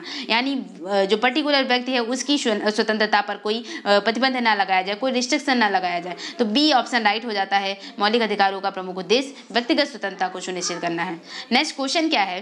नेक्स्ट क्वेश्चन है मूल अधिकारों को प्रवर्तित करने की शक्ति किसके पास है? प्रवर्तित यानी प्रवर्तित का आप सेंस लें, लागू करने की शक्ति। तो लागू कौन करेगा? तो आपने देखा था राष्ट्रपति निलंबित करता है, संसद जो है, संसद के पास संशोधन की शक्ति है उसमें, और जो उच्चतम न्यायालय है वो लागू करता है। उच्चतम न्यायालय, यानी हाई कोर्ट और जो हाई कोर्ट है और सुप्रीम कोर्ट है तो मूल अधिकारों को प्रवर्तित यानी लागू करने की शक्ति किसके पास है? तो लागू करने की शक्ति किसके पास है? सुप्रीम कोर्ट और हाई कोर्ट के पास डी ऑप्शन राइट हो जाता है और जो सुप्रीम, जो हाई कोर्ट है वो आर्टिकल 226 के तहत, आर्टिकल 226 के तहत रिट जारी कर सकता है और जो सुप्रीम कोर्ट है, सुप्रीम कोर्ट आर्टिकल 32 के तहत रिट जारी कर सकता है। इस तरह से आपने देखा मूल अधिकारों को लागू करने की शक्ति किसके पास है? सुप्रीम कोर्ट और हाई कोर्ट के पास डी ऑप्शन राइट हो जाता है। नेक्स्ट क्वेश्चन आप देखेंगे, भारतीय संविधान को प्रदत्त मूलभूत अधिकार जो है, को निलंबित करने वाली सत्ता कौन सी है? निलंबित यानी समाप्त करने वाली। तो मूल अधिकारों को कौन समाप्त कर सकता है? अभी आपने डिस्कस किया कि राष्ट्रपति मूल अधिकारों को समाप्त करेगा, संसद मूल अधिकारों के संबंध में संशोधन करेगी, यानी संशोधन करने की शक्ति जो है आर्टिकल तीन सौ अड़सठ के तहत संसद कर सकती है और सर्वोच्च न्यायालय लागू करने का काम करता है। तो निलंबन कौन? राष्ट्रपति यानी डी ऑप्शन राइट हो जाता है। यानी कौन सा, ये क्वेश्चन नंबर कौन सा है? ट्वेंटी थ्री क्वेश्चन तो ट्वेंटी थ्री का डी ऑप्शन जो है, वो राइट हो जाता है। नेक्स्ट आप देखेंगे, भारत में भारत में मौलिक अधिकारों के संबंध में? हम लोग यहाँ पर नेक्स्ट क्वेश्चन क्या है? भारत में मौलिक अधिकारों के संबंध में निम्नलिखित वक्तव्यों पर विचार कीजिए। यानी मौलिक अधिकारों के संबंध में कौन से तथ्य सही है? तो यानी यहाँ पर फ़र्स्ट ऑप्शन पढ़ते हैं। तो फ़र्स्ट ऑप्शन क्या है? यह राज्य कृत के विरुद्ध एक गारंटी है। तो हाँ ये राज्य कृत के विरुद्ध जो है, एक गारंटी है। यानी क्योंकि अगर राज्य जो है, राज्य राज्य में विधायिका और कार्यपालिका होगी तो विधायिका और कार्यपालिका अपने मनमर्जी का कोई भी कानून या नियम लागू नहीं कर सकती। और ऐसे नियम या कानून जो मौलिक अधिकारों का हनन कर रहे होंगे तो उन्हें लागू नहीं कर सकती। अगर इनकेस कार्यपालिका या विधायिका ऐसे कानून या नियम लागू कर देती है तो जो व्यक्ति है, उसके पास ये अधिकार है, सुप्रीम कोर्ट और हाई कोर्ट में वो जा सकता है अपने प्रोटेक्शन के लिए। और सुप्रीम कोर्ट में वो आर्टिकल बत्तीस के तहत जो है जाएगा और आर्टिकल दो सौ छब्बीस के तहत वो हाई कोर्ट में। और ये हाई कोर्ट और सुप्रीम कोर्ट पाँच प्रकार की रिटें जारी कर सकते हैं इस संबंध में। तो यानी ये राज्य कृति के विरुद्ध एक गारंटी देते हैं। तो इस संबंध में आप देखेंगे कि मौलिक अधिकार के संबंध में कौन से विचार जो हैं, वो सही हैं। तो ये राज्यकृत के विरुद्ध एक गारंटी है और जो दूसरा ऑप्शन है कि यह संविधान के भाग तीन में सूचित है। तो आपने देखा मौलिक अधिकार बारह से पैंतीस आर्टिकल, वो भाग तीन में वर्णित हैं। यानी एक और दो ऑप्शन तो सही हो जाते हैं। नेक्स्ट आप ऑप्शन देखते हैं कि ये सामाजिक, आर्थिक और राजनीतिक न्याय सुनिश्चित करते हैं। तो सामाजिक, आर्थिक और राजनीतिक न्याय की बात नहीं की गई है। ये यहाँ पर क्योंकि मौलिक अधिकार पढ़ना है, ना कि डीपीएसपी पढ़ना है। Directive principle of state state policy यानी डीपीएसपी में ऐसी बात कह, कही जाती है। तो ये जो है ये भाग तीन में वर्णित हैं। राज्यकृत के विरुद्ध गारंटी हैं और यही दोनों सही हैं। जबकि चौथा ऑप्शन जो है यूएसए में अधिकारों के बिल की बात नहीं है। तो हम जो है मौलिक अधिकार जो है वो कहाँ से लिए गए? यूएसए के ही कॉन्सेप्ट से बेस हैं। यूएसए से ही लिए गए हैं। तो यहाँ पर आप देखते हैं यहाँ पर नहीं की नहीं लिखा गया है। तो इस तरह से आप देखते हैं कि ये राज्यकृत के विरुद्ध गारंटी हैं और ये संविधान के भाग तीन में सूचित हैं। यानी यहाँ पर फ़र्स्ट ऑप्शन राइट हो जाता है, जहाँ पर लिखा गया है एक और दो सही हैं। तो एक और दो सही है, यानी फ़र्स्ट ऑप्शन राइट हो जाता है। नेक्स्ट क्वेश्चन है, समानता का अधिकार भारतीय संविधान के किन पाँच अनुच्छेदों में दिया गया है। तो समानता का अधिकार, यानी आप यहाँ पर जो जो आर्टिकल हैं, बारह से पैंतीस आर्टिकल, उनको छः भागों में बांटकर पढ़ते हैं और ये जो छः भाग हैं, उनमें से पहला भाग जो है, वो समता का अधिकार है। समता का अधिकार, समता का अधिकार, कितने से कितने आर्टिकल तक समता का अधिकार है तो जो आर्टिकल हम लोग पढ़ते हैं, चौदह से अठारह। चौदह से अठारह समता का अधिकार, उसके बाद नेक्स्ट आप देखते हैं स्वतंत्रता का अधिकार। स्वतंत्रता का अधिकार जो है, वो उन्नीस से बाईस आर्टिकल जो है, वो स्वतंत्रता का अधिकार है। नेक्स्ट आप देखेंगे स्वतंत्रता के बाद शोषण का अधिकार, यानी शोषण के विरुद्ध अधिकार। शोषण के विरुद्ध अधिकार, किससे, कौन से, कौन आर्टिकल? तेईस और चौबीस आर्टिकल। तेईस और चौबीस आर्टिकल जो हैं, शोषण के विरुद्ध अधिकार हैं। नेक्स्ट आप देखेंगे धर्म की स्वतंत्रता का अधिकार। धर्म की स्वतंत्रता का अधिकार। और धर्म की स्वतंत्रता 25 से 28 आर्टिकल में है। नेक्स्ट आप देखेंगे कि संस्कृति और शिक्षा संबंधी अधिकार। संस्कृति और शिक्षा संबंधी अधिकार।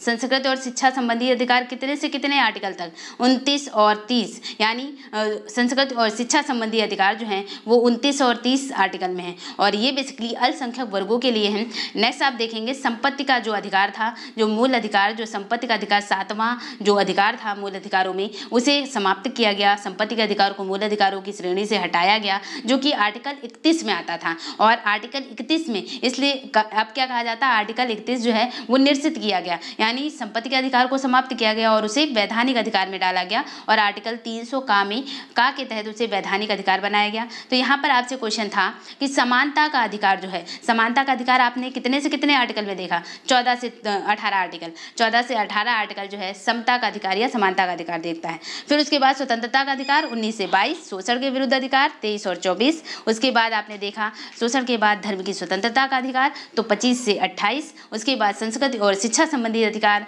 संस्कृत और शिक्षा संबंधी अधिकार कितने से कितने आर्टिकल उनतीस और तीस आर्टिकल में। तो यहाँ पर राइट आंसर क्या हो जाता है? पच्चीस का सी ऑप्शन राइट हो जाता है। कि समता का अधिकार चौदह से अठारह आर्टिकल यानी ट्वेंटी का सी ऑप्शन फिर नेक्स्ट क्वेश्चन है। नेक्स्ट क्वेश्चन है, भारतीय संविधान के निम्नलिखित अनुच्छेदों में कौन विधायन या सत्ता पर पूर्ण नियंत्रण लगाता है? यानी भारतीय संविधान के निम्नलिखित अनुच्छेदों में कौन सत्ता पर पूर्ण नियंत्रण लगाता है? तो सत्ता पर पूर्ण नियंत्रण लगाना, यानी सत्ता, यानी जो जो विधायन सत्ता है, यानी विधायन मतलब विधि बनाने की। और यहाँ से आप आर्टिकल पकड़ें। आर्टिकल क्या है? जैसा हम जानते हैं कि आर्टिकल चौदह क्या कहता है? विधि के समक्ष क्षमता। विधि मतलब यहाँ पर क्या है? विधायन। तो आप पकड़ ले जाए ये वर्ड कि आर्टिकल चौदह है, विधि के समक्ष क्षमता। और आर्टिकल पंद्रह क्या कहता है? धर्म, मूल, वंश, जाति और लिंग के आधार पर विभेद पर प्रतिषेध लगाता है। जबकि आर्टिकल सत्रह क्या है? अस्पृश्यता का अंत। और आर्टिकल सोलह क्या है? लोक नियोजन में जो है आर्टिकल सोलह लोक नियोजन में अवसर की क्षमता के बारे में बताता है। आर्टिकल सोलह। तो इस तरह से यहाँ पर राइट आंसर क्या हो जाता है? राइट आंसर हो जाता है यहाँ पर फोर्टीन, यानी विधि के समक्ष क्षमता, कानून की नज़रों में बराबर जो है, समान समानता देखी जाएगी। तो विधायन सत्ता पर पूर्ण नियंत्रण कौन लगाता है? तो आर्टिकल फोर्टीन। तो यहाँ पर क्वेश्चन नंबर था, question number twenty six. Twenty six का ए ऑप्शन राइट हो जाता है। ट्वेंटी सिक्स का ए ऑप्शन राइट हो जाता है। नेक्स्ट क्वेश्चन हम लोग ट्वेंटी सेवन डिस्कस करते हैं। Twenty seven number. तो यहाँ पर आप देखेंगे ट्वेंटी सेवन नंबर क्वेश्चन। तो यहाँ पर आप देखेंगे कि भारतीय संविधान की प्रस्तावना, भारतीय संविधान भारतीय संविधान की प्रस्तावना में प्रयुक्त समाजवाद शब्द को निम्नलिखित में से किस अनुच्छेद या अनुच्छेदों के साथ मिलकर पढ़ने से सर्वोच्च न्यायालय जो है, सर्वोच्च न्यायालय को समान कार्य के लिए समान वेतन का मौलिक अधिकार दिया गया। है तो समान कार्य के लिए समान वेतन जो है, वो किस आर्टिकल में है? यहाँ पर क्वेश्चन ध्यान से पढ़ेंगे कि समाजवाद समाजवाद शब्द भी है। तो समाजवाद शब्द को निम्नलिखित में से किस अनुच्छेद या अनुच्छेदों के साथ मिलकर पढ़ने से जो सुप्रीम कोर्ट है, सर्वोच्च न्यायालय को समान कार्य के लिए समान वेतन। तो आप जानते हैं आर्टिकल सोलह क्या कहता है कि लोक नियोजन में, लोक नियोजन में अवसर की क्षमता लोक नियोजन में अवसर की क्षमता यानी लोक नियोजन में सबको बराबरी का अधिकार दिया जाए। लोक नियोजन में अवसर की क्षमता सबको बराबर अवसर दिए जाए। स्त्री, पुरुष एस सी सबको बराबर की बात की जाती है लोक नियोजन में अवसर की क्षमता। आर्टिकल सोलह कहता है। आर्टिकल पंद्रह क्या कहता है? धर्म, मूल, वंश, जाति, लिंग के आधार पर विभेद पर विभेद नहीं किया जाएगा। ये आर्टिकल पंद्रह कहता है। यानी एक तरह से ये भी समाजवाद था कि इस समाज में किसी के खिलाफ, यानी लोक नियोजन में सर्वाइव करने के लिए लोगों को किसी भी आधार पर जो है वो भेदभाव नहीं किया जाएगा। तो लोक नियोजन में अवसर की क्षमता सबको समान अवसर उपलब्ध कराया जाएगा। ये भी समाजवाद से रिलेटेड था। फिर पंद्रह में आपने देखा, धर्म, मूल, वंश, जाति के आधार पर विभेद नहीं किया जाएगा। ये भी समाज के अंदर होगा। उसके बाद आपने देखा आर्टिकल चौदह। तो आर्टिकल चौदह क्या है? आर्टिकल चौदह जो है वो विधि के समक्ष क्षमता, यानी कानून की नज़र में विधि के समान, सबके लिए समान कानून लागू होगा, सबके लिए समान नियम लागू होंगे। तो आर्टिकल चौदह, पंद्रह, सोलह जो है वो समान समान कार्य के लिए समान वेतन जो है, वो मौलिक अधिकार परिभाषित करने की शक्ति जो है, कहाँ से मिलती है? तो कहाँ से मिलती है? तो चौदह, पंद्रह, सोलह। आर्टिकल तीनों जो है, ये इससे संबंधित लगते हैं। तो यानी ट्वेंटी सेवन का, ट्वेंटी सेवन का सी ऑप्शन राइट हो जाता है। नेक्स्ट क्वेश्चन आप देखेंगे। नेक्स्ट क्वेश्चन है विधि के सामने क्षमता अभी मैंने डिस्कस किया कि विधि, यानी कानून की नज़र में सब बराबर हो। कानून की विधि जो है, सबके लिए समान कानून लागू हो, चाहे वो जो है, चाहे वो कोई भी अमीर हो, गरीब हो, सबके लिए समान कानून की व्यवस्था की जाए। यानी, अगर मृत्यु के लिए, मृत्यु के लिए एक राष्ट्र यानी मृत्यु के लिए एक बड़े से बड़े अधिकारी को अगर वही सजा का प्रावधान है, जो एक गरीब रिक्शा चलाने वाले को होगा। यानी विधि की नज़र में सब बराबर हैं। तो विधि की क्षमता, विधि के सामने समानता किस आर्टिकल में है? तो यानी यहाँ पर आर्टिकल नहीं पूछा गया, जबकि आर्टिकल है फोर्टीन और यहाँ पर ऑप्शन है कि ये नागरिक अधिकार है, सामाजिक अधिकार है, आर्थिक अधिकार है या राजनीतिक। तो आपके, आप बताएँ कि ये जो विधि है, कानून है विधि के सामने समान समानता ये कैसा अधिकार है? ये मूलभूत कैसा अधिकार है? तो आपका आंसर क्या हो जाएगा? यहाँ पर आपका आंसर यानी ट्वेंटी एट का कौन सा ऑप्शन राइट हो जाएगा? ए ऑप्शन राइट हो जाएगा कि ये एक नागरिक अधिकार है। नागरिक का अधिकार है उसे जो है कानून के जो नज़र में वो सारे लोग बराबर हो। सबके लिए समान कानून लागू हों। ये प्रत्येक व्यक्ति का नागरिक अधिकार है उसे पाने का। नेक्स्ट आप क्वेश्चन डिस्कस करेंगे। नेक्स्ट क्वेश्चन है, भारतीय संविधान का कौन सा अनुच्छेद छुआछूत उन्मूलन से संबंधित है? तो जैसा आप जानते हैं आर्टिकल सत्रह। आर्टिकल सत्रह क्या है? अस्पृश्यता का अंत। अस्पृश्यता का अंत, यानी छुआछूत का अंत। तो आर्टिकल सत्रह है। आर्टिकल फोर्टीन क्या है? आर्टिकल चौदह जो है, वो विधि के समक्ष क्षमता, कानूनी नज़र में सब बराबर हो। आर्टिकल पंद्रह है, धर्म मूल वंश जात के आधार पर, लिंग के आधार पर विभेद नहीं किया जाएगा। जाएगा। आर्टिकल अठारह जो है, वो उपाधियों के अंत से संबंधित है। तो यहाँ पर छुआछूत उन्मूलन, छुआछूत को हटाना, प्रतिबंधित करना या मना करना, ये किस आर्टिकल में है? तो आर्टिकल सत्रह, जो कि अस्पृश्यता के अंत से संबंधित है। यानी उनतीस का सी ऑप्शन राइट हो जाता है।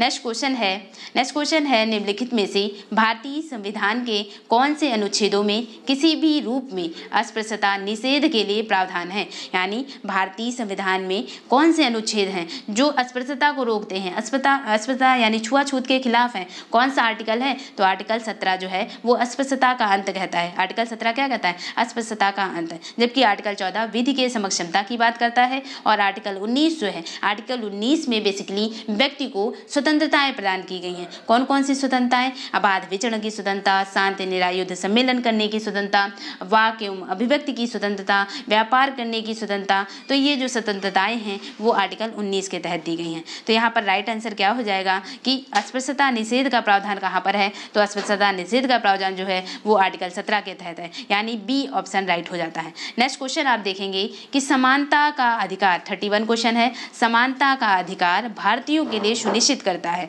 तो समानता का अधिकार भारतीयों के लिए कैसी समानता का, को सुनिश्चित करता है? धार्मिक समानता, सामाजिक समानता और आर्थिक समानता। यानी कैसी समानता का अधिकार जो है, वो भारतीयों के लिए कैसी समानता का अधिकार दिया गया है? तो थर्टी वन का राइट आंसर क्या हो जाएगा कि सभी प्रकार की समानता, यानी लोगों के मध्य जो है, वो धार्मिक समानता भी होनी चाहिए, सामाजिक समानता भी होनी चाहिए और आर्थिक समानता भी होनी चाहिए। यानी आप देखते हैं कि वर्तमान समय में कंडीशन क्या है कि 90 परसेंट पैसा जो है, वो 10 लोगों के पास है। यानी 10 परसेंट लोगों के पास जो भारत का 90 परसेंट पैसा है और जो बाकी बचे जो 90 परसेंट लोग हैं, उनके पास भारत का 10 परसेंट पैसा है। तो इस तरह से आप देखते हैं, कहा तो गया है कि आर्थिक समानता होनी चाहिए, लेकिन जो वास्तविक कारण आप देखते हैं, वास्तविक आवश्यकता में ये आर्थिक समानता कहीं दिखती नहीं है। तो आप देखेंगे यहाँ पर, लेकिन जो भारत का कॉन्स्टिट्यूशन है, उसमें बताया गया है कि समानता का अधिकार जो है, वो भारतीयों के लिए है और कैसी कौन कौन सी समानताएँ होंगी तो धार्मिक समानता भी होगी। सभी धर्मों को बराबर माना जाएगा, किसी भी विशेष धर्म को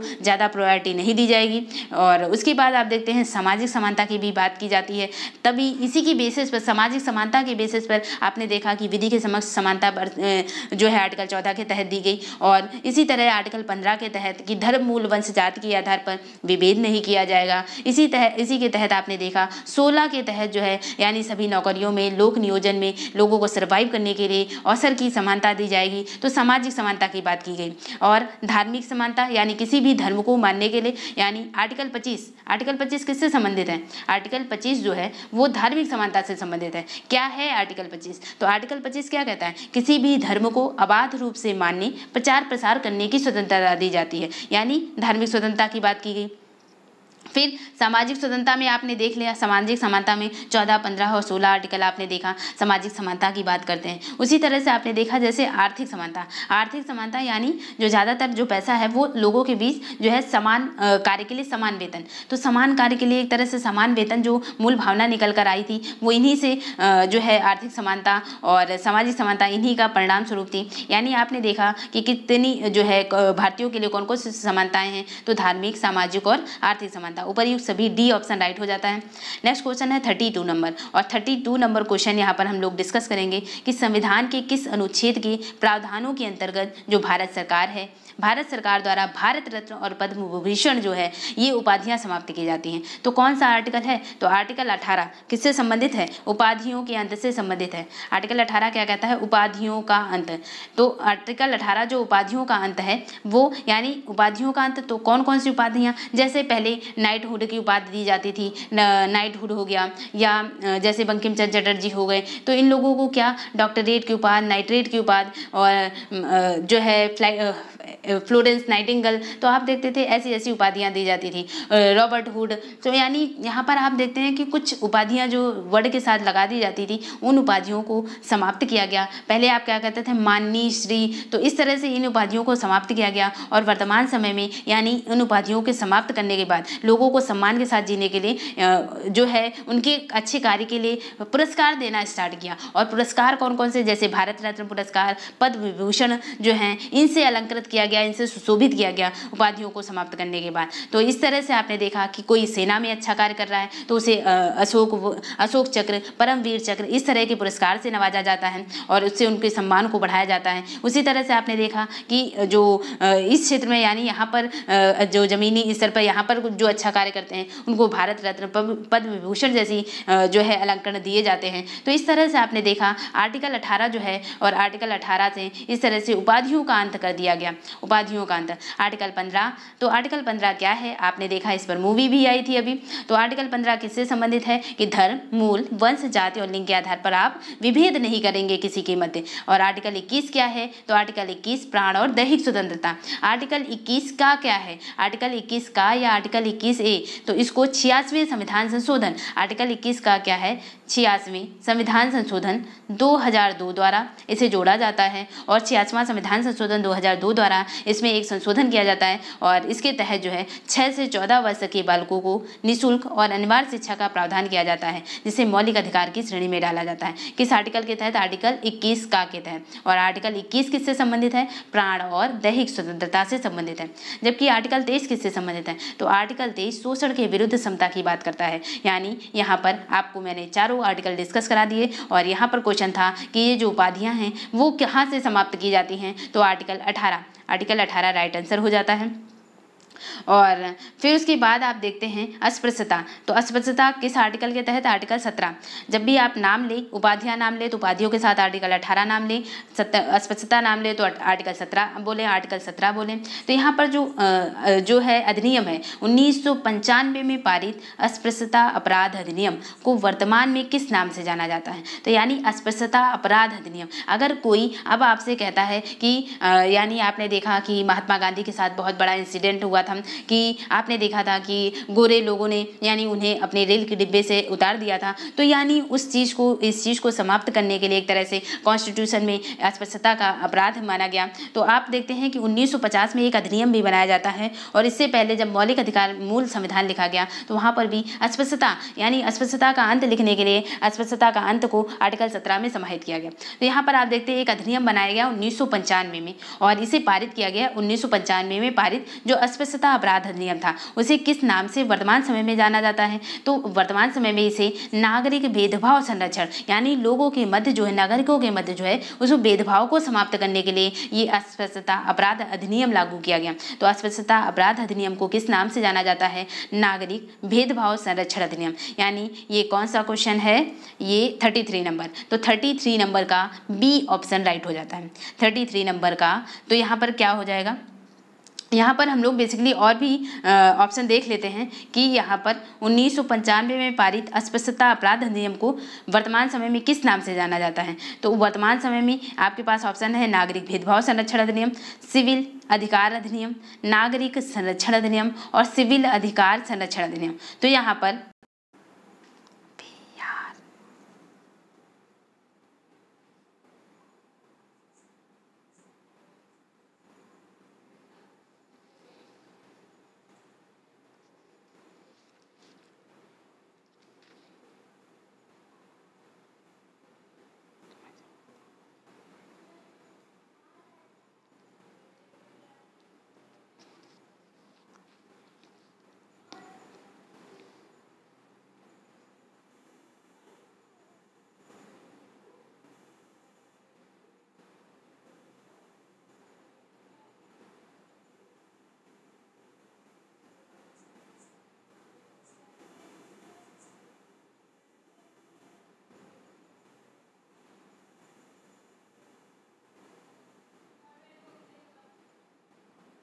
नागरिक अधिकारों का रक्षा अधिनियम अरे यार तो क्या नाम दिया जाता है? नागरिक अधिकारों का रक्षा अधिनियम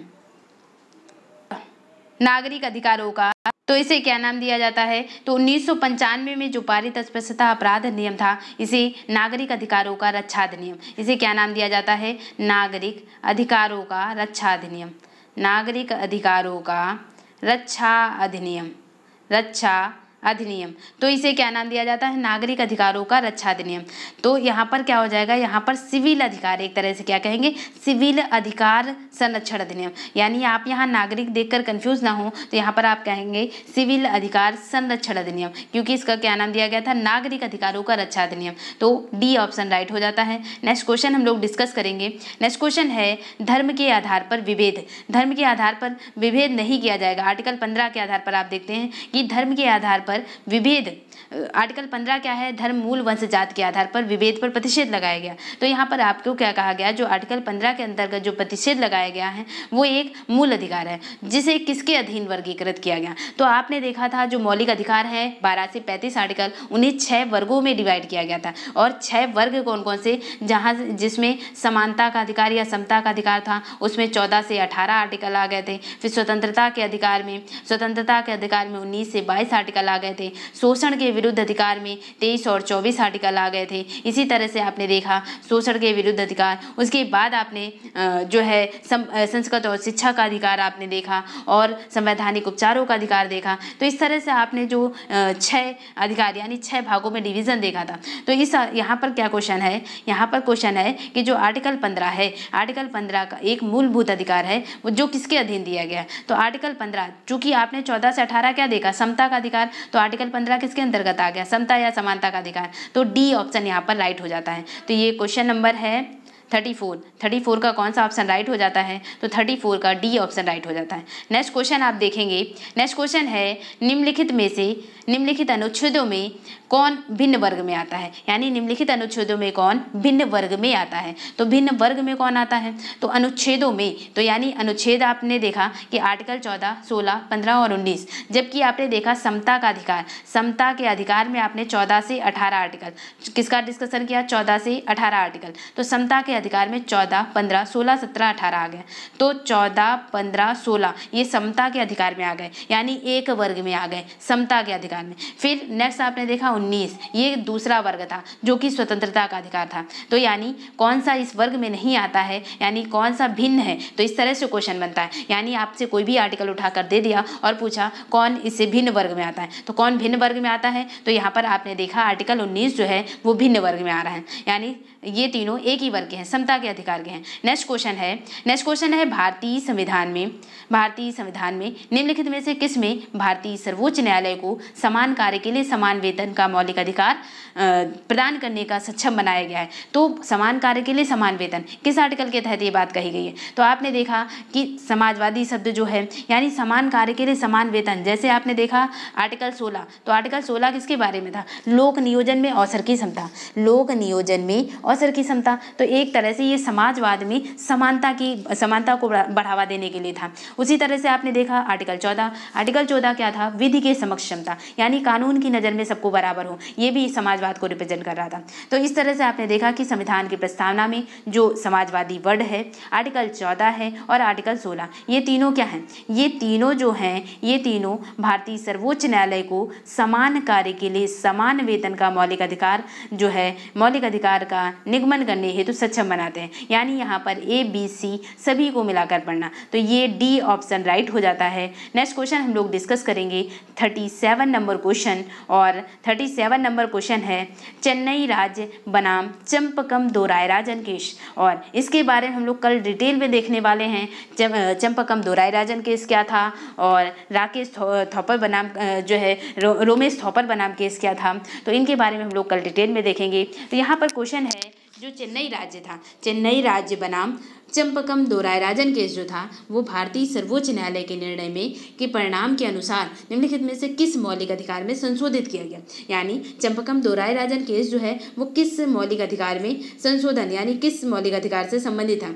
तो जो चंपकम दोराई राजन केस था बेसिकली उसने क्या किया था? वो रिजर्वेशन रिजर्वेशन जो प्रोसेस था यानी वो एक तरह से इसमें ये कहा जा रहा था कि अगर जो हमें समानता का अधिकार दिया गया है, यानी लोगों लोगों में समानता अवसर की समानता, अगर आर्टिकल 16 जो है, वो लोक नियोजन में अवसर की समानता वर्डिक देता है। आर्टिकल 16 में लोक नियोजन में अवसर की समानता जब दिया गया है तो हमें, यानी जो नौकरियों में भेदभाव है या नौकरियों में आरक्षण की जो बात है, वो कैसे भेदभाव? यानी यहाँ पर आप देखेंगे, जो चंबकम दोराय राजन केस था बेसिकली ये किस पॉइंट आउट पर था? तो ये जो केस था, चंपकम दोराई राजन केस, ये बेसिकली किससे संबंधित था? तो चंपकम दोराई राजन केस जो है, वो जो है रिजर्वेशन प्रोसेस से यानी कास्ट बेस्ड जो रिजर्वेशन था, उससे संबंधित है। तो यानी यहाँ पर क्या क्या अधिकार है? यहाँ पर जो आपको दिखा, दिया गया है कि भेदभाव के विरुद्ध अधिकार, यानी चंपकम दोराई राजन केस किससे किससे संबंधित है? यानी किस मौलिक अधिकार को संशोधित किया गया? तो यहाँ पर आप देखेंगे जो भेदभाव के विरुद्ध अधिकार। तो भेदभाव के विरुद्ध अधिकार, क्योंकि जो चंपकम दोराई राजन केस है, वो बेसिकली कास्ट बेसन जो कास्ट बेस रिजर्वेशन से संबंधित हैं। यानी कि गवर्नमेंट एग्ज़ाम में गवर्नमेंट जॉब में और कॉलेजेस में जो लोगों को कास्ट बेस्ड रिजर्वेशन प्रोवाइड कराया जा रहा था, उससे, यानी इससे लोगों ने क्या कहा? इससे लोगों ने कहा कि इससे हमारे मूल अधिकारों का जो हनन हो रहा है, क्योंकि इससे हमारे जो आर्टिकल सोलह हैं आर्टिकल पंद्रह हैं कि आप कह रहे हैं धर्म मूल, वंश, जात के आधार पर, लिंग के आधार पर भेदभाव नहीं किया जाएगा और आर्टिकल सोलह कह रहा है कि लोक नियोजन में अवसर की क्षमता दी जाएगी, सबको समानता दी जाएगी। तो इससे हमारे मूल अधिकार जो है वायलेट हो रहे हैं। मूल अधिकारों का हनन हो रहा है। तो ये एक तरह से, यानी इसमें क्या है कि सर्वोच्च न्यायालय के निर्णय के परिणाम स्वरूप जब सर्वोच्च न्यायालय ने ये निर्णय दिया, निर्णय क्या दिया? सर्वोच्च न्यायालय ने निर्णय दिया कि हाँ आर्टिकल सोलह और आर्टिकल पंद्रह जो इनका हनन हो रहा है, रिजर्वेशन देने से तो सुप्रीम कोर्ट का जो जो जो वर्डिक्ट आती है, सुप्रीम कोर्ट जो है निर्णय देता है कि हाँ रिजर्वेशन नहीं होना चाहिए। तो यानी यहाँ पर जो सर्वोच्च न्यायालय के निर्णय के परिणाम स्वरूप निम्नलिखित में से किस मौलिक अधिकार को संशोधित किया गया? तो एक तरह से भेदभाव के विरुद्ध अधिकार को संशोधित किया गया कि हाँ भेदभाव नहीं होना चाहिए। इस आधार पर जो है सुप्रीम कोर्ट जो है निर्णय देती है कि अगर जब कभी इन केसेस डीपीएसपी और मौलिक अधिकारों में कॉन्फ्लिक्ट होता है तो किसको प्रायोरिटी दी जाएगी? तो किसको प्रायोरिटी दी जाएगी? तो मूल अधिकारों को प्रायोरिटी दी जाएगी। यानी मौलिक अधिकारों को फंडामेंटल राइट्स को कहीं भी, भी यानी जो है कहीं पर भी यानी इनका हनन नहीं होना चाहिए। तो इस तरह से आप देखते हैं भेदभाव के विरुद्ध अधिकार बी ऑप्शन राइट हो जाता है। और इसे आप कल बहुत अच्छे से भी समझेंगे इसके डिटेल लेक्चर के बारे में। फिर नेक्स्ट आप देखते हैं कि भारत में समाचार पत्रों की स्वतंत्रता, यानी भारत में समाचार पत्र की स्वतंत्रता किससे संबंधित है? तो आप जब देखते हैं कि भारत में स्वतंत्रता, क्योंकि आर्टिकल उन्नीस जो है आर्टिकल उन्नीस क्या है? वाक और अभिव्यक्ति की स्वतंत्रता। तो वाक और अभिव्यक्ति में हमारी प्रेस की स्वतंत्रता भी आएगी। और प्रेस को आप जानते हैं, चौथा जो है स्तंभ माना जाता है, चौथा पिलर माना जाता है। तो यहाँ पर आप क्या देखेंगे कि संविधान के अनुच्छेद 19 का में विशेष रूप से उपबंधित है। क्या आ, समाचार पत्र समाचार पत्रों की स्वतंत्रता 19 का आर्टिकल में उपबंधित है।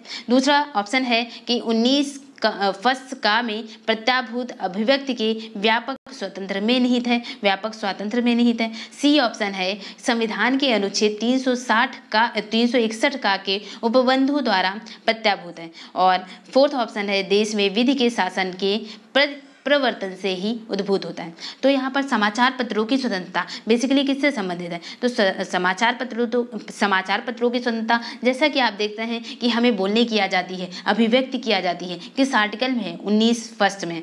तो यहाँ पर आंसर क्या हो जाएगा? थर्टी एट का ए ऑप्शन राइट हो जाएगा। संविधान के अनुच्छेद उन्नीस का में विशेष रूप से उपबंधित है कि हमें समाचार पत्र हो गए या किसी को भी अपनी अभिव्यक्ति की आज़ादी है, चाहे वो प्रिंटिंग प्रेस हो या फिर जो कोई भी मैगजीन हो, कोई भी पत्रिका है, वहाँ पर अपने विचारों को व्यक्त करने की स्वतंत्रता है।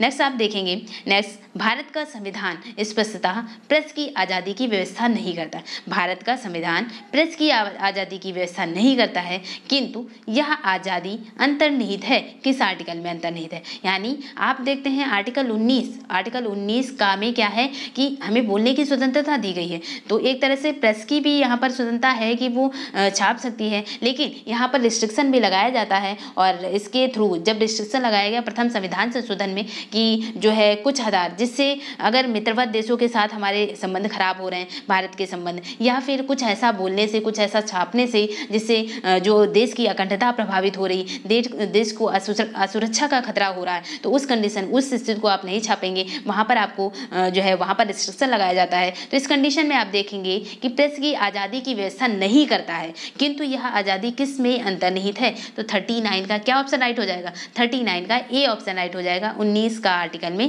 प्रेस की आज़ादी की व्यवस्था जो है, वो एक तरह से अंतर्निहित है। फिर नेक्स्ट आप देखेंगे, स्वतंत्रता के मूलभूत अधिकार जो है। नेक्स्ट क्वेश्चन क्या है? स्वतंत्रता के मूल अधिकारों से संबंधित संविधान के अनुच्छेद 19 के अंतर्गत कितने प्रकार की स्वतंत्रता है? तो आर्टिकल 19 के अंतर्गत कितने प्रकार की स्वतंत्रताएँ हैं? छह प्रकार की स्वतंत्रताएँ कौन कौन सी छह प्रकार की स्वतंत्रताएँ तो यहाँ पर आपने देखा वाक्य एवं अभिव्यक्ति की स्वतंत्रता शांति और निरा युद्ध सम्मेलन करने की स्वतंत्रता और उसके बाद आपने देखा अबाध विचरण की स्वतंत्रता, व्यापार करने की स्वतंत्रता। नेक्स्ट आप देखेंगे, संघ मनाने की स्वतंत्रता, निवास करने की स्वतंत्रता। इस तरह से, यानी निवास और व्यवसाय की स्वतंत्रता। इस तरह से सात स्वतंत्रताएँ दी यानी सात में से छह स्वतंत्रताएँ अब बची हैं और सातवीं स्वतंत्रता जो कि संपत्ति का अधिकार था, उसे हटा दिया गया, उन्नीस एफ़ आर्टिकल को हटा दिया गया है। तो यहाँ पर आप देखेंगे कि मूल अधिकार मूल अधिकार से संबंधित संविधान के अनुच्छेद उन्नीस के अंतर्गत कितने प्रकार की स्वतंत्रताएँ प्रत्याभूत हुई? तो मूल अधिकार से संबंधित, यानी कितनी प्रत्याभूत हुई? स्वतंत्रता के मूल अधिकार में। तो यहाँ पर क्या ऑप्शन राइट हो जाएगा? तो यहाँ पर आप देखते हैं कि यहाँ पर छह प्रकार की स्वतंत्रताएँ हैं। यानी ये क्वेश्चन नंबर है फोर्टी तो फोर्टी क्वेश्चन नंबर का C option forty question number का सी ऑप्शन राइट हो जाता है कि छह प्रकार की स्वतंत्रता है। नेक्स्ट क्वेश्चन है, स्वतंत्रता का अधिकार संविधान के किस अनुच्छेद में वर्णित है? तो स्वतंत्रता का अधिकार आपने देखा, समानता का अधिकार, यानी समता या समानता का अधिकार, किस आर्टिकल में? चौदह से अठारह। उसके बाद स्वतंत्रता का अधिकार, और कितने प्रकार? उन्नीस में ही देखा आपने कि आर्टिकल उन्नीस में ही छह प्रकार की स्वतंत्रता है। यानी उन्नीस से बाईस आर्टिकल जो है, वो स्वतंत्रता के अधिकार को रिप्रेजेंट करता है। तो यहाँ पर राइट आंसर क्या हो जाए जाएगा तो यहाँ पर राइट आंसर बी हो जाएगा। स्वतंत्रता का अधिकार किससे संबंधित है? तो स्वतंत्रता का अधिकार आर्टिकल 19 से 22 इकतालीस का बी ऑप्शन राइट हो जाएगा। तो डियर स्टूडेंट मैं आपसे कहना चाहती हूँ कि अगर आपने चैनल को सब्सक्राइब नहीं किया है तो सब्सक्राइब कर दें और ज़्यादा से ज़्यादा शेयर कर दें और बेल आइकन को प्रेस कर दें, जिससे आने वाली वीडियो की नोटिफिकेशन आपको मिल जाया करेगी। तो आइए डिस्कस करते हैं नेक्स्ट क्वेश्चन नेक्स्ट क्वेश्चन है नेक्स्ट क्वेश्चन है अनुच्छेद 19 में बड़ी स्वतंत्रताएँ जो हैं, वो किसको प्राप्त हैं? तो अनुच्छेद 19 में जो बड़ी स्वतंत्रता स्वतंत्रता हैं, वो किसको प्राप्त है? तो आप ऑप्शन यहाँ पर देखें कि भारत के निवासियों को, केवल भारतीय नागरिकों को या फिर भारत में पैदा हुए सभी व्यक्तियों को। तो आप यहाँ देख रहे हैं कि जो फोर्टी टू जो फोर्टी टू क्वेश्चन है तो यहाँ पर क्या है कि जो आर्टिकल उन्नीस आर्टिकल उन्नीस में क्या था? छह प्रकार की स्वतंत्रता है कि कोई व्यक्ति जो है कुछ भी बोल सकता है, यानी वाक और अभिव्यक्ति की स्वतंत्रता है, शांति और निरायुद्ध सम्मेलन करने की स्वतंत्रता है, संघ बनाने की स्वतंत्रता है अबाध विचरण की स्वतंत्रता है, निवास और व्यवसाय की स्वतंत्रता है। जो ये छह प्रकार की स्वतंत्रताएँ थी वो केवल और केवल भारतीय नागरिकों के लिए है। तो यानी आर्टिकल 19 में वर्धित स्वतंत्रता है, किसको प्राप्त है? केवल भारतीयों को। 42 का सी ऑप्शन राइट हो जाता है। नेक्स्ट क्वेश्चन है नेक्स्ट क्वेश्चन है भारतीय संविधान के। नेक्स्ट क्वेश्चन है भारतीय संविधान का अनुच्छेद 21 जो है 21 में निम्नलिखित में से किसके विरुद्ध संरक्षण प्रदान करता है? यानी आर्टिकल 21 जो है वो किसके विरुद्ध संरक्षण की बात करता है? तो किससे संरक्षण प्राप्त कर रहा है? तो आर्टिकल 21 क्या है बेसिकली आर्टिकल 21 प्राण और दैहिक स्वतंत्रता। आर्टिकल 21 किससे संबंधित है? प्राण और दैहिक स्वतंत्रता से संबंधित है। प्राण और दैहिक स्वतंत्रता से संबंधित है आर्टिकल इक्कीस। यानी, किससे संरक्षण प्रदान करने की बात की जा रही है? तो किससे संरक्षण प्रदान करने की? यानी 43 का डी ऑप्शन राइट होगा, कार्यपालिका और विधायिका दोनों के विरुद्ध। दोनों से विरुद्ध जो है, हमें संरक्षण प्रदान करता है आर्टिकल 21 कार्यपालिका और विधायिका दोनों के विरुद्ध संरक्षण किसमें प्रदान की जा रही है? आर्टिकल 21 में। तो डी ऑप्शन यहाँ पर राइट हो जाएगा 43 का डी ऑप्शन कार्यपालिका और विधायिका दोनों के विरुद्ध संरक्षण प्रदान करता है। नेक्स्ट क्वेश्चन है। नेक्स्ट क्वेश्चन है, यानी आपने देखा इक्कीस में ये है और इक्कीस का में आपने देखा, इक्कीस का में, इक्कीस का को छियासवें संविधान संशोधन 2002 में जोड़ा गया और 6 से 14 वर्ष तक के बालकों के लिए निःशुल्क और अनिवार्य शिक्षा का प्रावधान 21 का आर्टिकल के तहत मूल अधिकारों में डाला गया। नेक्स्ट क्वेश्चन यहाँ पर हम लोग डिस्कस करते हैं। नेक्स्ट क्वेश्चन है फोर्टी नंबर क्वेश्चन। भारत के संविधान का निम्नलिखित में से कौन सा अनुच्छेद प्रेस की स्वतंत्रता? तो प्रेस की आज़ादी, बोलने की आज़ादी, वाक और अभिव्यक्ति की आज़ादी किस आर्टिकल में? आर्टिकल उन्नीस। ए ऑप्शन राइट हो जाता है। नेक्स्ट क्वेश्चन है, नेक्स्ट क्वेश्चन है निम्नलिखित में से नागरिकों का स्वतंत्रता संबंधी सही अधिकार कौन सा है? तो नागरिकों की स्वतंत्रता से संबंधित कौन सा सही अधिकार है? तो नागरिक जो है, नागरिक जो है, वो केवल, क्यों, क्योंकि आर्टिकल 19 में जो छह प्रकार की स्वतंत्रता है, वो सिर्फ़ और सिर्फ़ केवल भारतीय नागरिकों को प्राप्त है। तो नागरिकों को स्वतंत्रता संबंधी कौन सा अधिकार है? तो आपने देखा कि उन्हें बोलने की आज़ादी है, यानी भाषण और विचार करने की आज़ादी है अबाध विचरण की, यानी घूमने की आज़ादी है। फिर आपने देखा कि शांत और निरायुद्ध सम्मेलन करने की स्वतंत्रता, यानी जो है, यहाँ पर आप ऑप्शन देख रहे हैं, हथियार सहित सभा करने की स्वतंत्रता। तो हथियार सहित नहीं है। नेक्स्ट आप देखेंगे, सरकार के विरुद्ध षड्यंत्र करने की स्वतंत्रता तो सरकार के विरुद्ध षड्यंत्र करने की भी स्वतंत्रता नहीं है। यानी कौन से, यहाँ पर है क्या? स्वतंत्रता संबंधित सही अधिकार कौन सा है? तो सही अधिकार जो है, यहाँ पर घूमने की स्वतंत्रता तो है, लेकिन विदेश में घूमने की स्वतंत्रता नहीं। यानी डी बी ऑप्शन गलत हो जाता। विदेश में नहीं, भारत में घूम सकते हैं। आप विदेश में जो है, वो भारत प्रोटेक्शन नहीं दे सकता। फिर नेक्स्ट आप देखेंगे, भाषण और विचार करने की स्वतंत्रता। तो भाषण और विचार करने की स्वतंत्रता है प्रेस की आज़ादी है। बोलने की अभिव्यक्ति की आज़ादी है तो सी ऑप्शन राइट हो जाता है। नेक्स्ट क्वेश्चन है। नेक्स्ट क्वेश्चन है प्रेस की स्वतंत्रता किस अधिकार में नीत है? तो प्रेस की स्वतंत्रता किसमें है? तो अभिव्यक्ति की स्वतंत्रता में प्रेस की स्वतंत्रता यानी बी ऑप्शन राइट हो जाता है, भाषण स्वतंत्रता ही अभिव्यक्ति की स्वतंत्रता है, बोलने की स्वतंत्रता या प्रेस की स्वतंत्रता है बी ऑप्शन राइट हो जाता है। नेक्स्ट क्वेश्चन है, निम्नलिखित में से कौन मौलिक अधिकार नहीं है? तो मौलिक अधिकार क्या नहीं है? तो आप जानते हैं कि बोलने का अधिकार है, अभिव्यक्ति की आज़ादी हो गया, व्यवसाय का भी अधिकार है, और उसके बाद आप देखते हैं धर्म का भी अधिकार है कि किसी भी धर्म को मानने का अधिकार है कि कोई किसी भी धर्म को मान सकता है किसी भी धर्म के प्रति तटस्थता नहीं बरती जाएगी। लेकिन यहाँ पर हड़ताल पर जाने का अधिकार सैंतालीस का सी ऑप्शन जो है वो मौलिक अधिकार नहीं है। हड़ताल करने का अधिकार नहीं है। इससे लोग यानी मेजर लोग प्रभावित होंगे। तो इस तरह से आ, कोई भी अखंडता या आ, भारत की सुरक्षा को खतरा होता तो वो कोई भी कार्य हमारे मौलिक अधिकारों में नहीं आता है। तो इस तरह से मौलिक अधिकार नहीं है तो हड़ताल पर जाने का अधिकार जो है वो मौलिक अधिकार नहीं है। सैतालीस का सी ऑप्शन राइट हो जाता है। नेक्स्ट क्वेश्चन है, भारतीय संविधान का कौन सा अनुच्छेद व्यक्ति के विदेश यात्रा के अधिकार को संरक्षण प्रदान करता है? यानी विदेश यात्रा के अधिकार को संरक्षित करता है, कौन सा अनुच्छेद? तो आर्टिकल 48 जो बेसिकली है, यानी आपने देखा जब आपने, क्योंकि आप आर्टिकल 14 देखें तो विधि के सबक क्षमता की बात करता है। आर्टिकल 19 देखा तो भारत में, यानी भारतीय नागरिकों की स्वतंत्रता की बात करता है कि वो आबाद घूम सकते हैं, विचरण कर सकते हैं। लेकिन जो आर्टिकल इक्कीस है, आर्टिकल इक्कीस क्या कहता है? प्राण और दैहिक स्वतंत्रता। तो ये बहुत वास्त है आर्टिकल इक्कीस, प्राण और दैहिक स्वतंत्रता। तो इस तरह से क्योंकि आपके प्राणों की रक्षा और दैहिक स्वतंत्रता का अधिकार है आपको, व्यक्तिगत, मूल अधिकार है आपका, इसको कोई भी हटा नहीं सकता, हनन नहीं कर सकता। तो इस तरह से, एक तरह से विदेश यात्रा के अधिकार को संरक्षण प्रदान करने का जो राइट है, कौन सा अनुच्छेद व्यक्ति के विदेश यात्रा के अधिकार को, अधिकार में भी आपकी रक्षा करेगा, संरक्षण प्रदान करने का अधिकार है तो अड़तालीस का सी ऑप्शन राइट हो जाता है। आर्टिकल इक्कीस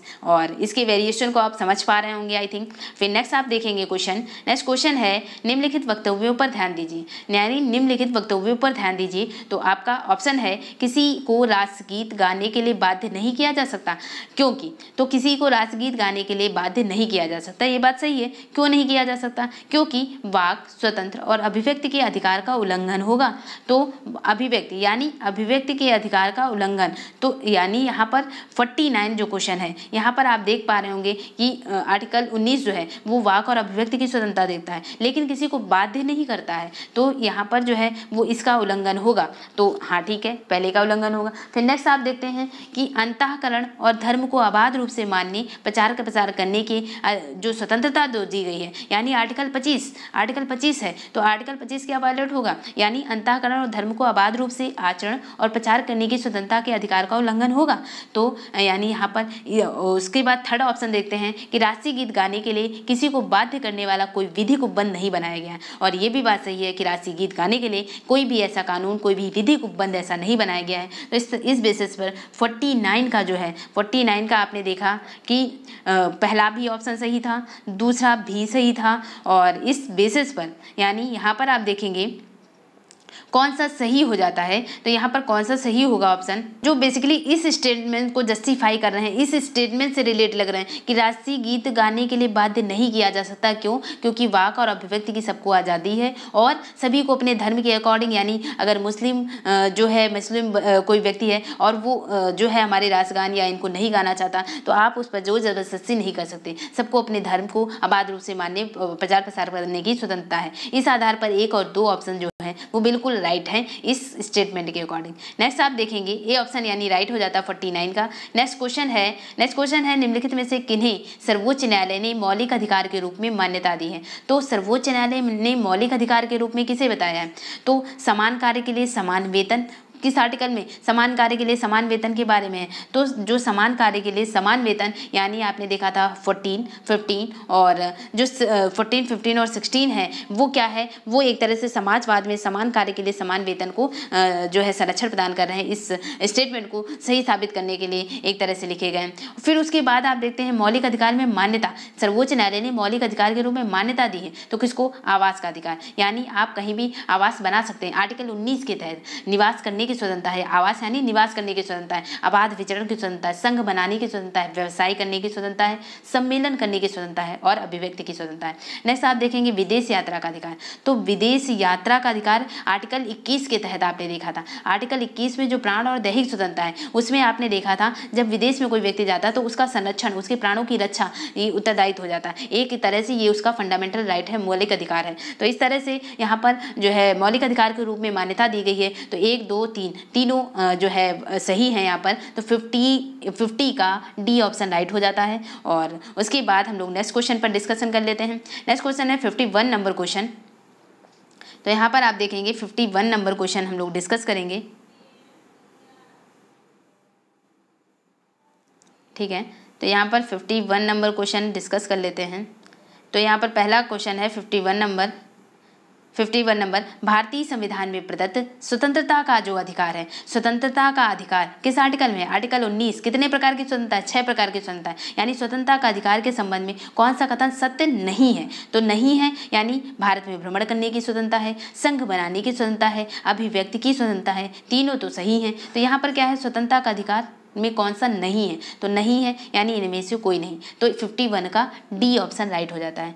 फिर यहाँ पर नेक्स्ट आप देखेंगे यानी यहाँ पर नेक्स्ट आप देखेंगे नेक्स्ट आप देखेंगे कि यहाँ पर uh, आप वर्ड देखें कि यानी इनमें से कोई नहीं तो हम बेसिकली लगा सकते थे लेकिन यहाँ पर एक वर्ड ध्यान दें अबाधित लिखा है। अबाधित यानी यहाँ पर क्या लिखा है? भाषण व अभिव्यक्ति की अबाधित स्वतंत्रता। तो भाषण और अभिव्यक्ति की अबाधित स्वतंत्रता नहीं है यानी आप कुछ भी बोल कर चले जाएँ। तो ऐसी आज़ादी भी नहीं दी गई ऐसी स्वतंत्रता भी नहीं दी गई है और प्रथम संविधान संशोधन द्वारा इसमें रिस्ट्रिक्शन जोड़े गए और आठ प्रकार के आठ प्रकार के रिस्ट्रिक्शन जोड़े गए थे और जो स्वतंत्रता है है यानी जो अभिव्यक्ति है, अभिव्यक्ति आप इस संबंध में नहीं कर सकते कि आप, अगर आपके बोलने से कोई मित्र देश बुरा मान जाता है या मित्र देशों पर कोई इफ़ेक्ट पड़ जाता है इम्पैक्ट पड़ता है तो आप वैसा कुछ नहीं बोल सकते। उस संबंध में आपकी अभिव्यक्ति पर जो है वो रोक लगाई जाएगी। और नेक्स्ट आप देखें, दूसरा फैक्ट कि आप ऐसा कुछ नहीं बोल सकते जिससे देश की अखंडता और अछूड़ता पर कोई जो है बुरी बुरी नज़र पड़े या फिर एक तरह से अछूड़ता प्रभावित हो। तो इस तरह से ये रिस्ट्रिक्शन लगाए जाते हैं। तो यानी अबाधित यानी बिना रोक टोक के आपको स्वतंत्रता नहीं दी गई है। इसमें रिस्ट्रिक्शन भी हैं। तो इस तरह से ए ऑप्शन यहाँ पर राइट हो जाता कि कौन सा सत्य नहीं है। तो यहाँ पर आबादित वर्ड जुड़ जाने से भाषा और अभिव्यक्ति की आबादित स्वतंत्रता नहीं है। तो ए ऑप्शन यहाँ पर राइट हो जाता फिफ्टी का ए ऑप्शन राइट होगा। फिर नेक्स्ट क्वेश्चन हम लोग डिस्कस करते हैं शोषण के विरुद्ध अधिकार। तो शोषण के विरुद्ध अधिकार जो है आर्टिकल तेईस और चौबीस। आर्टिकल तेईस और चौबीस क्या है? तो आर्टिकल तेईस बेसिकली किससे संबंधित है? तो आर्टिकल तेईस, जैसा कि आपने वर्ड पढ़ा था, बेगार। बेगार और जैसे आर्टिकल तेईस और चौबीस में क्या था? तो आर्टिकल तेईस और चौबीस किससे संबंधित है? तो आर्टिकल तेईस और चौबीस जो है, वो शोषण के विरुद्ध अधिकार देता है। यानी शोषण के विरुद्ध अधिकार। तो शोषण के विरुद्ध अधिकार, आर्टिकल तेईस और चौबीस। तो आर्टिकल तेईस क्या है? आर्टिकल तेईस और आर्टिकल तेईस जो है, वो मानव दुर्व्यापार मानव दुर्व्यापार मानव दुर्व्यापार और बेगार मानव दुर्व्यापार और बेगार पर रोक लगाई जाती है। किस पर? तो मानव दुर्व्यापार और बेगार बेगार क्या होता है कि यानी आपसे काम कराया जाए, लेकिन आपको पैसा ना दिया जाए, यानी काम मेहनताना, मजदूरी उतनी ना दे दी जाए तो उसे कहा जाता है बेगार तो यानी यहाँ पर आप देखते हैं, यानी आपकी मेहनत के बराबर पैसा ना दिया जाए। तो इस तरह से मानव दुर्व्यापार और बेगार पर रोक लगाई जाती है। किस आर्टिकल के तहत? आर्टिकल तेईस है। और आर्टिकल चौबीस किससे संबंधित है? तो आर्टिकल चौबीस जो है, आर्टिकल चौबीस जो है, वो बाल श्रम से संबंधित है। बाल श्रम यानी आर्टिकल चौबीस के अंतर्गत जो चौदह वर्ष से कम बच्चे हैं, जो चौदह वर्ष से कम बच्चे हैं, उन्हें किसी फैक्ट्री, किसी कारखाने में नियुक्त नहीं किया जाएगा। और इस, इससे संबंधित है बाल श्रम से संबंधित आर्टिकल चौबीस। यहाँ पर आप देखेंगे, यानी आपका क्वेश्चन था कि किन फिफ्टी टू नंबर क्वेश्चन क्या था संविधान के? किन अनुच्छेदों में शोषण के विरुद्ध अधिकार वर्णित है? तो शोषण के विरुद्ध अधिकार किसमें दिया गया है? तेईस और चौबीस। आर्टिकल तेईस और चौबीस सी ऑप्शन राइट हो जाता है। और चौदह से अठारह, समता के अधिकार है। समता किस आधार पर? विधि के समक्ष क्षमता होनी चाहिए। और कानून की नज़र में बराबर उपाधियों में, उपाधियों का अंत किया गया। समता के लिए अस्पृश्यता का अंत किया गया। तो इस तरह से आपने देखा चौदह से अठारह जो है, वो समता के बारे में बताता है। फिर उन्नीस से बाईस, उन्नीस से बाईस स्वतंत्रता के बारे में बताता है। और पच्चीस पच्चीस से तीस। तो यानी आपने देखा था जैसे कि उन्नीस तेईस, चौबीस जो है, शोषण के विरुद्ध अधिकार को बताते हैं। उसके बाद उसके बाद पच्चीस से अट्ठाईस, पच्चीस से अट्ठाईस जब जाते तो पच्चीस से अट्ठाईस धार्मिक स्वतंत्रता है। और जो उनतीस तीस है, जो उनतीस तीस आर्टिकल है, वो संस्कृति और शिक्षा के अधिकार जो है, संस्कृति और शिक्षा के अधिकार से संबंधित है। तो यानी ये अल्पसंख्यक वर्ष से संबंधित है उनतीस तीस आर्टिकल। तो यहाँ पर फ़िलहाल यहाँ पर शोषण के विरुद्ध अधिकार की बात की गई थी। तो यहाँ पर तेईस और चौबीस आर्टिकल सी ऑप्शन राइट हो जाता है। नेक्स्ट बच्चों के शोषण से संबंधित है। तो बच्चों के शोषण से कौन सा संबंधित है? आपने देखा कि आर्टिकल तेईस क्या था? मानव, दुर्व्यापार और बेगार पर रोक है। फिर आर्टिकल चौबीस क्या था? बाल श्रम से संबंधित था। तो मौलिक अधिकारों में बच्चों के शोषण से संबंधित कौन? तो बच्चों के शोषण से संबंधित क्या हुआ? तो फिफ्टी का ऑब्वियसली डी आंसर हो जाएगा, क्योंकि फिफ्टी में, यानी ट्वेंटी आर्टिकल जो है, वो बाल श्रम के बारे में बताता है। और बाल श्रम क्या है? कि बच्चों को, चौदह वर्ष से कम बच्चों को कारखाना कारखाने या फैक्ट्री में नहीं नियुक्त किया जाएगा। उन्हें, यानी उन्हें अगर पढ़ने की, इनकी उम्र है और इन्हें पढ़ने भेजा जाएगा। तो इस तरह से ये बच्चों के शोषण से बचाता है आर्टिकल चौबीस। फिर डी ऑप्शन राइट हो जाता है। नेक्स्ट क्वेश्चन है यहाँ पर, भारत के संविधान के अंतर्गत किस आयु के बालक को किसी खान या अन्य संकटमय सेवा में लगाए जाने से प्रतिषेध है? तो आपने देखा, चौदह वर्ष से कम बच्चे की किसी फैक्ट्री या कारखाने में नियुक्त नहीं किया जाएगा। आर्टिकल चौबीस के तहत, यानी यहाँ पर फिफ्टी का ए ऑप्शन राइट हो जाता है। नेक्स्ट क्वेश्चन हम लोग डिस्कस करेंगे। नेक्स्ट क्वेश्चन है फिफ्टी फाइव नंबर क्वेश्चन, कारखानों तथा खानों में कोई व्यक्ति नियुक्त नहीं किया जा सकता जब तक उसकी आयु तो जब तक उसकी आयु कितनी हो तो जब तक उसकी आयु जो है वो चौदह वर्ष है, यानी चौदह वर्ष से कम बच्चा है या चौदह वर्ष की आयु का है तो उसे तब तक उसे किसी कारखाने या फैक्ट्री में नहीं लगाया जाएगा। तो फिफ्टी का बी ऑप्शन राइट हो जाता है इस बेसिस पर। नेक्स्ट क्वेश्चन डिस्कस करते हैं। नेक्स्ट क्वेश्चन है, भारतीय संविधान के अनुसार किसी भी व्यक्ति को जिसे गिरफ़्तार या बंदी किया जाता है, जब सबसे नज़दीकी मजिस्ट्रेट के समक्ष उपस्थित करना होगा। तो आप जानते हैं, जब किसी व्यक्ति को गिरफ़्तार किया जाता है या बंदी बनाया जाता है तो सबसे पहला यानी व्यक्ति जो है, वो अपनी जो गिरफ्तारी का कारण जाना, जान, जानेगा। उसको अधिकार है, उसको मौलिक अधिकार दिया गया है कि उसे जब किसी व्यक्ति को न्यायिक हिरासत या गिरफ़्तार किया जाता है तो उसे कारण बताया जाए, रीज़न बताया जाए कि क्यों गिरफ़्तार कर रहे हैं। तभी आप देखते हैं कि जब कभी पुलिस आती है या तो इससे क्या कह उससे पूछा जाता है कि आप पहले वारंट दिखाएँ। वारंट दिखाएँ तभी गिरफ्तारी का अधिकार है उसे। यानी तो वो वारंट दिखाएगा और अगर इनकेस आपको पकड़ के ले जाता है, अगर पुलिस पकड़ कर ले जाती है तो आपके पास, आपका मौलिक अधिकार है कि उसको, आपको चौबीस घंटे के अंदर, चौबीस घंटे में आपकी यात्रा, लाने जाने का समय नहीं काउंट होगा। तो ये जो चौबीस घंटे हैं, इस चौबीस घंटे के अंदर आपको जो है मजिस्ट्रेट के सामने प्रस्तुत करें। पुलिस जो है आपको मजिस्ट्रेट के सामने उपस्थित करेगी और ये उसका नैतिक उत्तरदायित्व तो है। तो आप देखेंगे, यानी सबसे नज़दीकी मजिस्ट्रेट के समक्ष उपस्थित करना होगा। किसी गिरफ़्तार किए गए या बंदी किए गए व्यक्ति को। कितने घंटे के अंदर? चौबीस घंटे के अंदर। इस बेसिस पर फिफ्टी सिक्स का बी ऑप्शन राइट हो जाता है।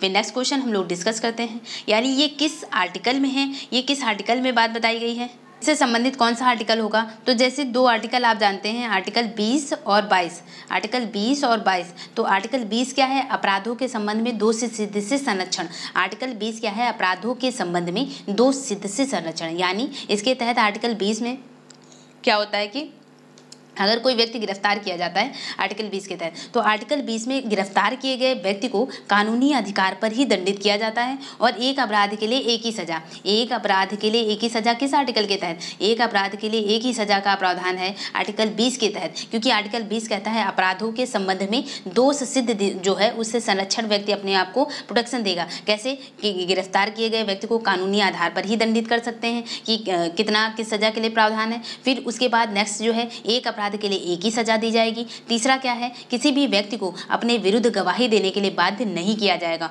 और इस प्रावधान के तहत जो है, सुप्रीम कोर्ट ने जो है, नार्को टेस्ट जो होता था तो नार्को टेस्ट पर बैन लगा दिया। और कि किसी भी व्यक्ति को अपने विरुद्ध गवाही देने के लिए बाध्य नहीं किया जाएगा। नेक्स्ट आप देखते हैं नेक्स्ट आप देखते हैं आर्टिकल 22 तो आर्टिकल 22 क्या है? कुछ दशाओं में गिरफ्तारी से संरक्षण। गिरफ्तारी से संरक्षण। तो गिरफ्तारी से संरक्षण आर्टिकल 22 किस आधार पर? यानी यहाँ पर यह बताया जाता है कि अगर कोई व्यक्ति गिरफ़्तार किया जाता है, यानी अगर कोई व्यक्ति गिरफ़्तार किया जाता है तो उसे 24 घंटे के अंदर मजिस्ट्रेट के सम्मुख प्रस्तुत करना होगा। 24 घंटे के अंदर क्या होगा? गिरफ़्तार किए गए व्यक्ति को मजिस्ट्रेट के सामने प्रस्तुत करना होगा। दूसरा रीजन अगर किसी व्यक्ति को गिरफ़्तार कर रहे हैं तो उसको गिरफ़्तार गिरफ्तारी का कारण बताना होगा। यानी व्यक्ति को गिरफ़्तार किए गए व्यक्ति को गिरफ्तारी का कारण बताना होगा पुलिस को। कारण बताना होगा। नेक्स्ट आप देखेंगे कि अगर कोई व्यक्ति गिरफ़्तार किया जाता है तो उसे अपने लिए जो है वकील चुनने, अपने लिए अपने लिए वकील चुनने वकील चुनने चुनने और उससे परामर्श लेने की भी स्वतंत्रता होगी। उसे, उससे परामर्श लेने की स्वतंत्रता होगी। ये किस आर्टिकल में है? आर्टिकल 22 में है। आर्टिकल किस बाईस किस आर्टिकल में है? तो आर्टिकल बाईस में है। आर्टिकल बाईस क्या है? कुछ दशाओं में दो से संरक्षण या अपराधों के संबंध में दो से संरक्षण। और जबकि यानी कुछ दशाओं में गिरफ्तारी से संरक्षण, कुछ दशाओं में, कुछ दशाओं में गिरफ्तारी से संरक्षण।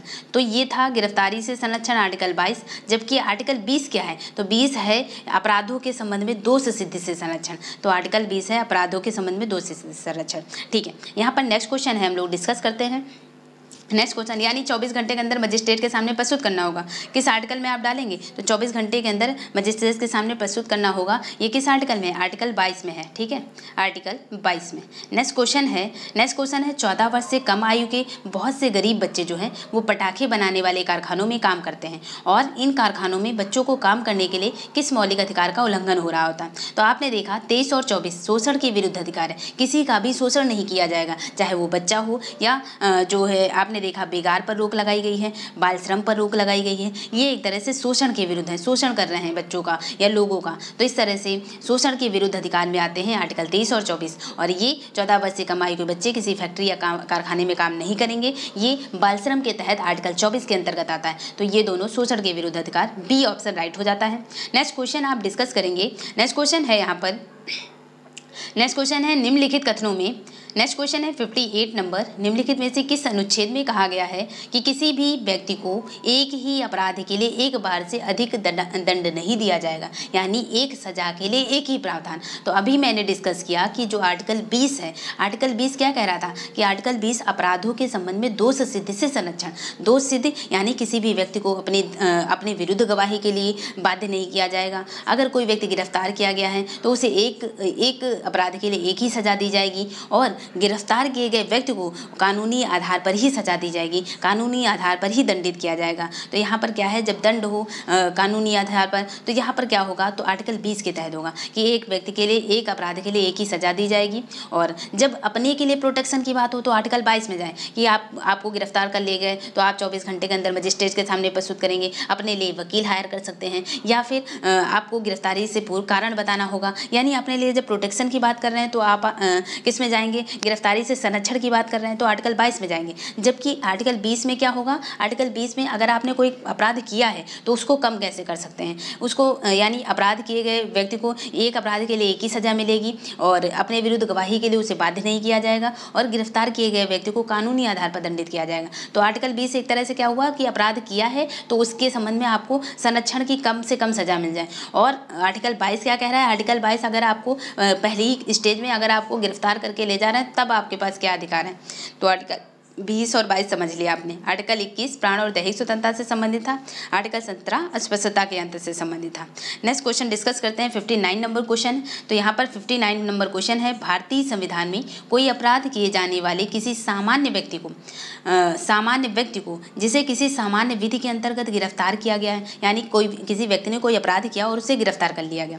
तो कौन सा अधिकार प्रदान करता है? यानी निम्नलिखित में से कौन सा अधिकार प्रदान किया जाएगा? तो किसी भी व्यक्ति, यानी किसी भी सामान्य व्यक्ति को अगर कोई पुलिस उठाकर ले जाती है संदेह के बेसिस पे या किसी किसी वारंट के थ्रू थ्रू तो यहाँ पर जो व्यक्ति जो पुलिस ले जाएगी तो गिरफ्तारी के 24 घंटे के अंदर उसे मजिस्ट्रेट के सम्मुख प्रस्तुत करेगी। फिर जो व्यक्ति होगा उसे अपने लिए वकील से परामर्श लेने और बचाव करने का भी अधिकार होगा और गिरफ्तारी से पूर्व उसको कारण बताना पड़ेगा। यानी शीघ्रता जानने की जो शीघ्रता से जानने का अधिकार होगा गिरफ्तारी का कारण। ये तीनों सही हैं। किस आर्टिकल में है तीनों? ये आर्टिकल 22 में है तीनों। तो 59 का डी ऑप्शन राइट हो जाता है। नेक्स्ट क्वेश्चन है, धार्मिक स्वतंत्रता का अधिकार संविधान के किस अनुच्छेद में वर्णित है? तो धर्म की स्वतंत्रता का अधिकार, जैसा कि मैंने बताया 12 से 35 आर्टिकल जो हैं, वो मूल अधिकारों में, मूल अधिकारों को छह भागों में बांट दिया गया समता का अधिकार, शोषण के विरुद्ध अधिकार, यानी समता का अधिकार, फिर उन्नीस से बाईस जो है, स्वतंत्रता का अधिकार, फिर तेईस और चौबीस जो है, शोषण के विरुद्ध अधिकार, फिर पच्चीस से अट्ठाईस जो है, पच्चीस से अट्ठाईस जो है, वो शोषण के विरुद्ध अधिकार के बाद आपने देखा कि शोषण के विरुद्ध अधिकार के बाद आपने देखा कि जो न्याय, जो धार्मिक स्वतंत्रता का अधिकार 25 से 28 हो गया, फिर 29 30 में जो आपने देखा संस्कृति और शिक्षा का अधिकार, अल्पसंख्यक वर्ग जो है, उन्हें संस्कृति और शिक्षा का अधिकार उनतीस तीस आर्टिकल में है। तो यहाँ पर क्या है? यहाँ पर है आपके पास कि धार्मिक स्वतंत्रता का अधिकार। धर्म की स्वतंत्रता का अधिकार किस आर्टिकल में है? पच्चीस से अट्ठाईस आर्टिकल पच्चीस से अट्ठाईस यानी डी ऑप्शन यहाँ पर राइट हो जाएगा। नेक्स्ट क्वेश्चन आप देखेंगे, भारतीय संविधान के अनुच्छेद पच्चीस का संबंध। तो आर्टिकल पच्चीस क्या कहता है? किसी भी धर्म को अबाध रूप से माननी, प्रचार प्रसार करने की स्वतंत्रता, यानी धार्मिक स्वतंत्रता की बात करता है। कौन? आर्टिकल पच्चीस, यानी इकसठ का सी ऑप्शन राइट हो जाता है। नेक्स्ट क्वेश्चन आप देखेंगे। नेक्स्ट क्वेश्चन है यहाँ पर।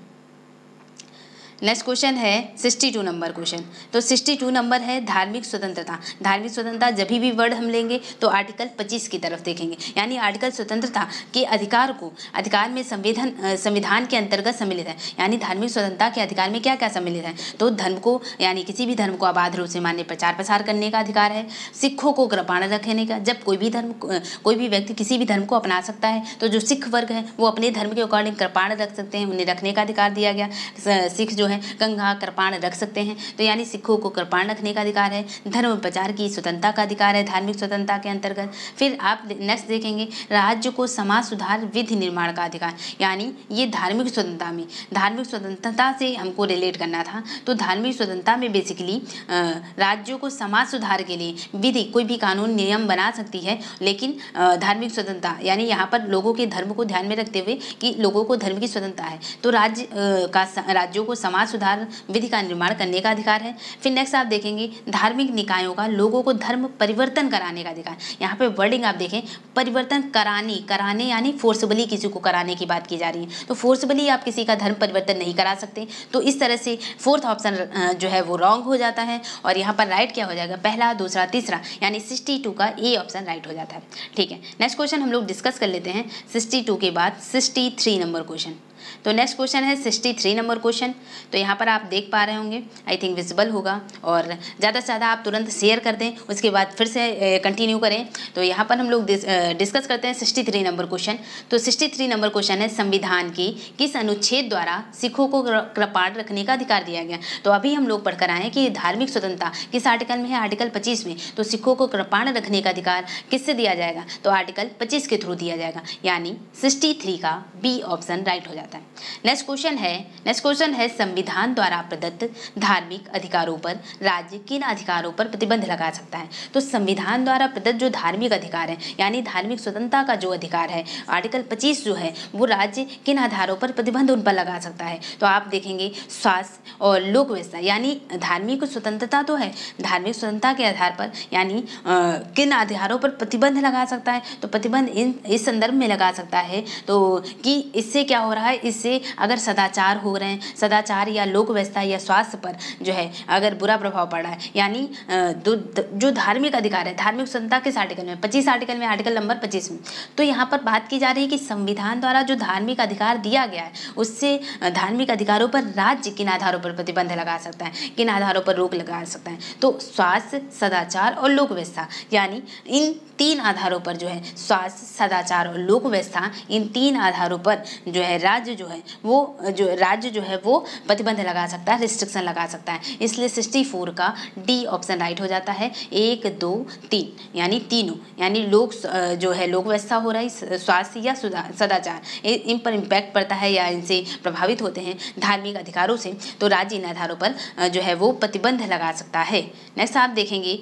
नेक्स्ट जो है, संविधान के किन अनुच्छेदों के अंतर्गत अल्पसंख्यक जो है, अभी मैंने डिस्कस किया कि जो उनतीस तीस आर्टिकल हैं, उनतीस तीस बेसिकली संस्कृति और शिक्षा का अधिकार है। तो उनतीस तीस आर्टिकल अल्पसंख्यक, जो माइनॉर कम्युनिटी है तो अल्पसंख्यक जो है, यानी आर्टिकल उनतीस क्या कहता है? आर्टिकल उनतीस जो है, ऐसे नागरिकों के लिए बनाया गया है, जिनकी अपनी जो भाषा है, लिपि है, संस्कृति है, यानी जो जो संख्या में कम है, इस वर्ग इस वर्ग को, यानी जिन्हें कहा जाता है अल्पसंख्यक, यानी अल्प यानी संख्या में कम है तो इनको क्या कहा जा रहा है? अल्पसंख्यक। यानी इस वर्ग को संरक्षण प्रदान करने का अधिकार, अल्पसंख्यक को संरक्षण प्रदान करने का अधिकार, आर्टिकल उनतीस के तहत है। यानी आर्टिकल उनतीस जो है, उसमें अल्पसंख्यक शब्द का प्रयोग तो करता है, लेकिन उसका वर्णन नहीं किया कि अल्पसंख्यक में कौन कौन लोग आएँगे, कि आप देखते हैं कि जिसकी कम जनसंख्या है, वो अल्पसंख्यक में आएँगे, कि कौन आएँगे तो अल्पसंख्यक को डिफाइन नहीं किया है उसने, आर्टिकल उनतीस ने। फिर आप देखते हैं आर्टिकल तीस तो आर्टिकल तीस जो है, अल्पसंख्यकों को शिक्षण संस्थान खोलने की स्वतंत्रता देता है, शिक्षण संस्थान स्थापित करने, उन्हें संचालित करने की स्वतंत्रता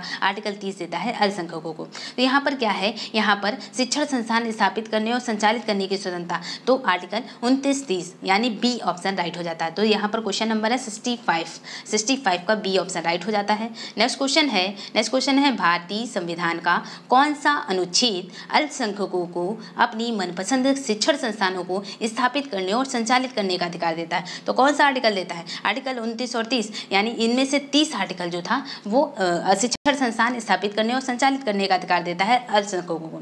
जबकि आर्टिकल जो उनतीस था तो आर्टिकल उनतीस जो है वो नागरिकों को अधिकार देता है जो संरक्षण प्रदान करता है। यानी अल्पसंख्यकों को संरक्षण प्रदान करता है। तो ये आर्टिकल उनतीस में है। तो यहाँ पर आर्टिकल तीस में क्या है? कोई भी शिक्षण संस्थान स्थापित कर सकते हैं अल्पसंख्यक और संचालित कर सकते हैं। आर्टिकल तीस के तहत डी ऑप्शन राइट हो जाता है। नेक्स्ट क्वेश्चन हम लोग देखते हैं। नेक्स्ट क्वेश्चन है sixty seven number question. Sixty seven number है धार्मिक स्वतंत्रता का अधिकार। तो धार्मिक स्वतंत्रता किस आर्टिकल में है? आर्टिकल पच्चीस, धर्म की स्वतंत्रता का अधिकार, धार्मिक स्वतंत्रता। तो सिक्सटी सेवन का सी ऑप्शन राइट हो जाता है। नेक्स्ट क्वेश्चन हम लोग डिस्कस करते हैं। नेक्स्ट क्वेश्चन है, भारतीय संविधान की किस अनुच्छेद में संवैधानिक उपचारों का अधिकार है? तो संवैधानिक उपचारों का अधिकार किस आर्टिकल में? तो आर्टिकल बत्तीस। आर्टिकल बत्तीस क्या है? संवैधानिक उपचारों का अधिकार। संवैधानिक उपचार उपचार मतलब इलाज। तो इलाज किसका? संविधान के थ्रू यानी इलाज किसका? जब मूल अधिकारों का हनन हो जाए। और मूल अधिकारों के हनन होने पर कोई व्यक्ति जो है, वो सुप्रीम कोर्ट की शरण ले सकता है। आर्टिकल बत्तीस के तहत। और आर्टिकल बत्तीस के तहत इस स्थिति में सुप्रीम कोर्ट जो होगा, वो पाँच प्रकार की रिटें जायर करेगा। कौन कौन सी पाँच प्रकार की रिट होती हैं जो है, वो पाँच प्रकार की रिटें हाईकोर्ट भी जारी कर सकता है। यानी लेकिन वो जो हाईकोर्ट है हाईकोर्ट की रिट रिट जारी करने की शक्ति जो है, वो सुप्रीम कोर्ट की जो तुलना में, कंपेरिजन में ज़्यादा ही है। क्योंकि जो हाई कोर्ट के पास भी ये पावर होती है रिट जारी करने की और वो किसी भी कानूनी अधिकार के लिए, क्योंकि ये इस संदर्भ में कि हाई कोर्ट की रिट जारी करने की शक्ति ज़्यादा होती है सुप्रीम कोर्ट से, इस आधार पर, क्योंकि जो हाई कोर्ट है, उसे किसी भी, यानी किसी भी कानूनी अधिकार के हनन होने पर वो जारी कर सकता है हाई कोर्ट। लेकिन जो सुप्रीम कोर्ट है, वो पर्टिकुलर व्यक्तिगत अधिकार, यानी व्यक्तिगत मूल जो मूल अधिकार है, उसके हनन पर लागू कर सकता है। केवल मूल अधिकारों के हनन पर लागू कर सकता है सुप्रीम कोर्ट। तो संवैधानिक उपचारों का अधिकार किस आर्टिकल है आर्टिकल बत्तीस सी ऑप्शन राइट हो जाता है। नेक्स्ट क्वेश्चन हम लोग डिस्कस करते हैं। नेक्स्ट क्वेश्चन है यहाँ पर eight sixty nine question number ठीक है? सिक्सटी नाइन नंबर क्वेश्चन है कि मौलिक अधिकारों में से डॉक्टर बी आर अंबेडकर ने संविधान की हृदय और आत्मा किसे कहा है? तो की हृदय और आत्मा किसे कहा है? संवैधानिक उपचारों के अधिकार को। आर्टिकल बत्तीस को। और आर्टिकल बत्तीस आपने देखा, रिट जारी करने। रिट जारी कर सकता है इसी के थ्रू। यानी ये प्रोटेक्शन दे रहा है पूरे मूल अधिकारों को। यानी आर्टिकल जो आप पढ़ के आए हैं अभी, कि आर्टिकल जो है बारह से पैंतीस आर्टिकल में। तो बारह से इकतीस तक की अभी जब आप पढ़ के आए बारह से एज लाइक तीस तक की तो वो जो बारह से तीस आपने पढ़े तो उनको उनको प्रोटेक्शन दे रहा है संवैधानिक उपचारों का अधिकार। एक इसलिए doctor B R Ambedkar Baba Saheb ने संवैधानिक उपचारों को संविधान का हृदय और आत्मा की संज्ञा दी है। तो बी ऑप्शन यहाँ पर राइट हो जाता है सिक्सटी नाइन का बी ऑप्शन नेक्स्ट क्वेश्चन है नेक्स्ट क्वेश्चन है संवैधानिक उपचारों का जो अधिकार है, यानी आर्टिकल जो बत्तीस है, किन परिस्थितियों में निलंबित हो जाता है? तो किन परिस्थितियों में निलंबित हो जाता है? यानी जो है वो जो सुप्रीम कोर्ट है, यानी आप देख रहे हैं जब राष्ट्रीय आपातकाल लगता है तो मूल अधिकार हमारे स्वतः समाप्त हो जाते हैं। तो जब मूल अधिकार स्वतः समाप्त हो जाते हैं तो इस कंडीशन में हम सुप्रीम कोर्ट या हाई कोर्ट नहीं जा सकते हैं। तो यानी हम कह सकते हैं कि जब आपात स्थिति होगी तो हमारे मूल अधिकार हनन हो जाएँगे। तो संवैधानिक उपचारों का अधिकार जो है, एक तरह से हम कह सकते हैं कि जब मूल अधिकारों का हनन हो जा रहा है तो उस कंडीशन में संवैधानिक उपचारों का जो अधिकार है, वो भी निलंबित हो जाता है। निलंबित हो जाता है, यानी ये समाप्त हो जाता है। तब इसके थ्रू, संवैधानिक उपचारों के अधिकार के थ्रू किसी को प्रोटेक्शन नहीं दिया जाएगा। यानी न्यायालय जो है, तब वो जो है न्यायालय, वो कोई भी रिट नहीं जारी करेगी इस संबंध में। किस संबंध में? जब कोई आपात स्थिति की घोषणा देश में कर दी जाए, या सेना सदस्यों के मध्य संबंध हो या सैनिक विधि लागू हो, यानी सेवेंटी का कौन सा ऑप्शन राइट हो जाएगा कि इन तीन परिस्थितियों में आपात स्थित हो जाए, सेना सदस्यों के मध्य संबंध में संबंध में, या सैनिक विधि लागू हो तो उन कंडीशन में संवैधानिक उपचारों का अधिकार जो है, वो निलंबित हो जाता है। तो डी ऑप्शन राइट हो जाता है सेवेंटी का। नेक्स्ट क्वेश्चन है सेवेंटी वन नंबर क्वेश्चन तो सेवेंटी वन नंबर क्वेश्चन क्या है? तो यहाँ पर हम लोग देखेंगे कि कौन सा अधिकार कौन सा अधिकार भारतीय संविधान के अनुच्छेद 32 के अंतर्गत परिवर्तित किए जा सकते हैं? यानी कौन सा अधिकार जो है भारतीय संविधान के आर्टिकल अनुच्छेद जो है 32 के अंतर्गत बदले जा सकते हैं, परिवर्तित किए जा सकते हैं? तो आपको आंसर दिख रहा होगा कि संवैधानिक अधिकार सांविधिक अधिकार या मौलिक अधिकार। तो कौन से अधिकार जो हैं आर्टिकल बत्तीस के अंतर्गत प्रवर्तित किए जा सकते हैं, लागू कराए जा सकते हैं? तो आपने देखा कि मौलिक अधिकार जो है, आर्टिकल बत्तीस जो है, वो मौलिक मौलिक अधिकारों को प्रोटेक्शन देने की बात करता है। तो इस तरह से इस बेसिस पर सेवेंटी नाइन का तो यानी यहाँ पर कौन सा अधिकार किसको प्रवर्तित कराया जा सकता है? प्रवर्तित यानी लागू तो यानी यहाँ पर क्या आंसर राइट हो जाएगा? फिर हम लोग आगे नेक्स्ट क्वेश्चन डिस्कस करते हैं। यहाँ पर क्या हो गया? सेवेंटी का बी ऑप्शन राइट हो गया। फिर नेक्स्ट क्वेश्चन हम लोग डिस्कस करते हैं। नेक्स्ट है सेवेंटी नंबर क्वेश्चन और सेवेंटी नंबर क्वेश्चन है मौलिक अधिकारों को लागू करने के लिए, जो निम्नलिखित में से किस, किसी न्यायालय द्वारा जारी किया जा सकता है? तो न्यायालय क्या जारी करता है? मौलिक अधिकारों को लागू कराने के लिए। आप इतनी देर से आपने कई बार इस वर्ड का ज़िक्र देखा रिट रिट जारी करने की शक्ति यानी समादेश भी कह सकते हैं कभी कभी रिट को। तो समादेश या रिट जारी कर सकता है कौन? सुप्रीम कोर्ट या हाई कोर्ट मौलिक अधिकारों के उल्लंघन होने पर या हनन होने पर। तो सी ऑप्शन राइट हो जाता है। सी ऑप्शन नेक्स्ट क्वेश्चन है नेक्स्ट क्वेश्चन है, व्यक्तिगत स्वतंत्रता के लिए निम्नलिखित में से कौन सी रिट या याचिका दायर की जाती है? तो व्यक्तिगत स्वतंत्रता के लिए कौन सी रिट या याचिका दायर दायर की जाती है। आपके पास ऑप्शन है mind, mandamus, habeas corpus quo warranto और सर्च योरेरी। तो आपने जो पाँच प्रकार की रिटें पढ़ी हैं बेसिकली कौन कौन सी पाँच प्रकार की रिटें पढ़ी हैं? बंदी, प्रत्यक्षीकरण बंदी, प्रत्यक्षीकरण, उत्प्रेषण उत्प्रेषण और उत्प्रेषण के बाद जैसे अधिकार प्रेक्षा हो गया, अधिकार प्रेक्षा हो गया, प्रेच्छा, परमादेश परमादेश उसके बाद उत्प्रेषण। उत्प्रेषण आपने देख लिया। और प्रतिषेध। पांचवी क्या हो गई? प्रतिषेध। प्रतिषेध। तो इस संबंध में यानी आपको यहाँ पर इंग्लिश वर्जन भी देखा जाता है और आ, हिंदी वर्जन भी। तो पाँच प्रकार की रिटें क्या होती? है बंदी प्रत्यक्षीकरण उत्प्रेषण अधिकार प्रेच्छा परमादेश और प्रतिषेध। तो इनके इंग्लिश वर्डिक में आपने देखा कोई भी हिंदी नाम नहीं दिया गया है। तो आप कैसे जान पाएँगे? तो यहाँ पर आप जानें कि जो बंदी प्रत्यक्षीकरण है इसकी इंग्लिश क्या होती? है हैबियस कॉर्पस यानी हैबियस कॉर्पस जो है, हैबियस कॉर्पस किसके बारे में है? बंदी प्रत्यक्षीकरण। उसके बाद उसके बाद जो उत्प्रेषण है, उत्प्रेषण जो है, इसको जो आपने अभी वर्ड देखा सरसियोरेरी सरसियोरेरी किसको कहा जा रहा है? उत्प्रेषण को। उत्प्रेषण को क्या कहा जा रहा? है सरसियोरेरी सरसियोरेरी फिर नेक्स्ट आप देखेंगे अधिकार प्रेक्षा। तो अधिकार प्रेक्षा जो है, उसको कहा जाता है को वारंटो को वारंटो किसको कहा जाता है? अधिकार प्रेक्षा को क्या? वारंटो। वारंटो को वारंटो क्या कहा जाता है? को वारंटो फिर नेक्स्ट आप देखेंगे परमादेश। तो परमादेश परमादेश देना तो इसको कहा जाता है मैंडमस। मैंडमस कहा जाता है, परमादेश को क्या कहा जाता है? मैंडमस। डियर स्टूडेंट आप कहीं नोट डाउन कर सकते हैं, या बुक है तो वहाँ पर उसकी इंग्लिश आप साथ साथ में लिखते जाएँ। बंदी प्रत्यक्षीकरण को हैबियस कॉर्पस कहते हैं। उत्प्रे, जो उत्प्रेषण है, उसको सर्चियोरी कहते हैं। अधिकार प्रेक्षा को जो है, उसको को वारंटो भी कहते हैं। और परमादेश जो है, इसको इंग्लिश में मैंडमस कहते हैं। और जो प्रतिषेध है, प्रतिषेध यानी मना करना तो प्रतिषेध क्या है? प्रोहिबिशन प्रोहिबिशन कहते हैं प्रतिषेध को। तो यहाँ पर ऑप्शन क्या है? जो, यानी मैंडमस है तो मैंडमस को क्या कहेंगे? मैंडमस को जो है मैंडमस परमादिस परमादेश कहेंगे। फिर हैबियस कॉर्पस जो है, वो बंदी प्रत्यक्षीकरण के बारे में है। प्रत्यक्षीकरण, को वारंटो जो है, को वारंटो जो है, वो अधिकार प्रेक्षा के बारे में है। अधिकार प्रेक्षा के बारे में, और जो सरसियोरी है तो सरसियोरी किसके बारे में है? तो सरसियोरी उत्प्रेषण के बारे में है। अब आइए समझते हैं कि परमादेश क्या है, बंदी प्रत्यक्षीकरण क्या है, क्योंकि इसके बाद जो क्वेश्चन बनने वाले हैं, वो इन्हीं रिट से बनने वाले क्वेश्चन है। तो सबसे पहली बात आती है कि बंदी प्रत्यक्षीकरण क्या है। तो जो बंदी प्रत्यक्षीकरण है, यानी ये लैटिन भाषा का एक्चुअली शब्द है और इसका शाब्दिक अर्थ होता है कि जो यानी ये बंदी प्रत्यक्षीकरण उस, उससे संबंधित है, यानी उस व्यक्ति के संबंध में न्यायालय को आदेश जारी करता है बंदी प्रत्यक्षीकरण। ये आदेश जारी करता है न्यायालय को, यानी व्यक्ति के संदर्भ में। कोई भी व्यक्ति है जिसका कहीं पे मुकदमा चल रहा है तो ये अगर व्यक्ति जो है, वो बंदी प्रत्यक्षीकरण या ऐसी रिट जो है, याचिका दायर करता है सुप्रीम कोर्ट में तो ये जो है, बंदी प्रत्यक्षीकरण क्या है, ये उस व्यक्ति के संबंध में न्यायालय द्वारा जारी आदेश है। और न्यायालय द्वारा जारी आदेश यानी कह सकते हैं कि जिसे दूसरे जिसे दूसरे द्वारा जो हिरासत में रखा गया होता है।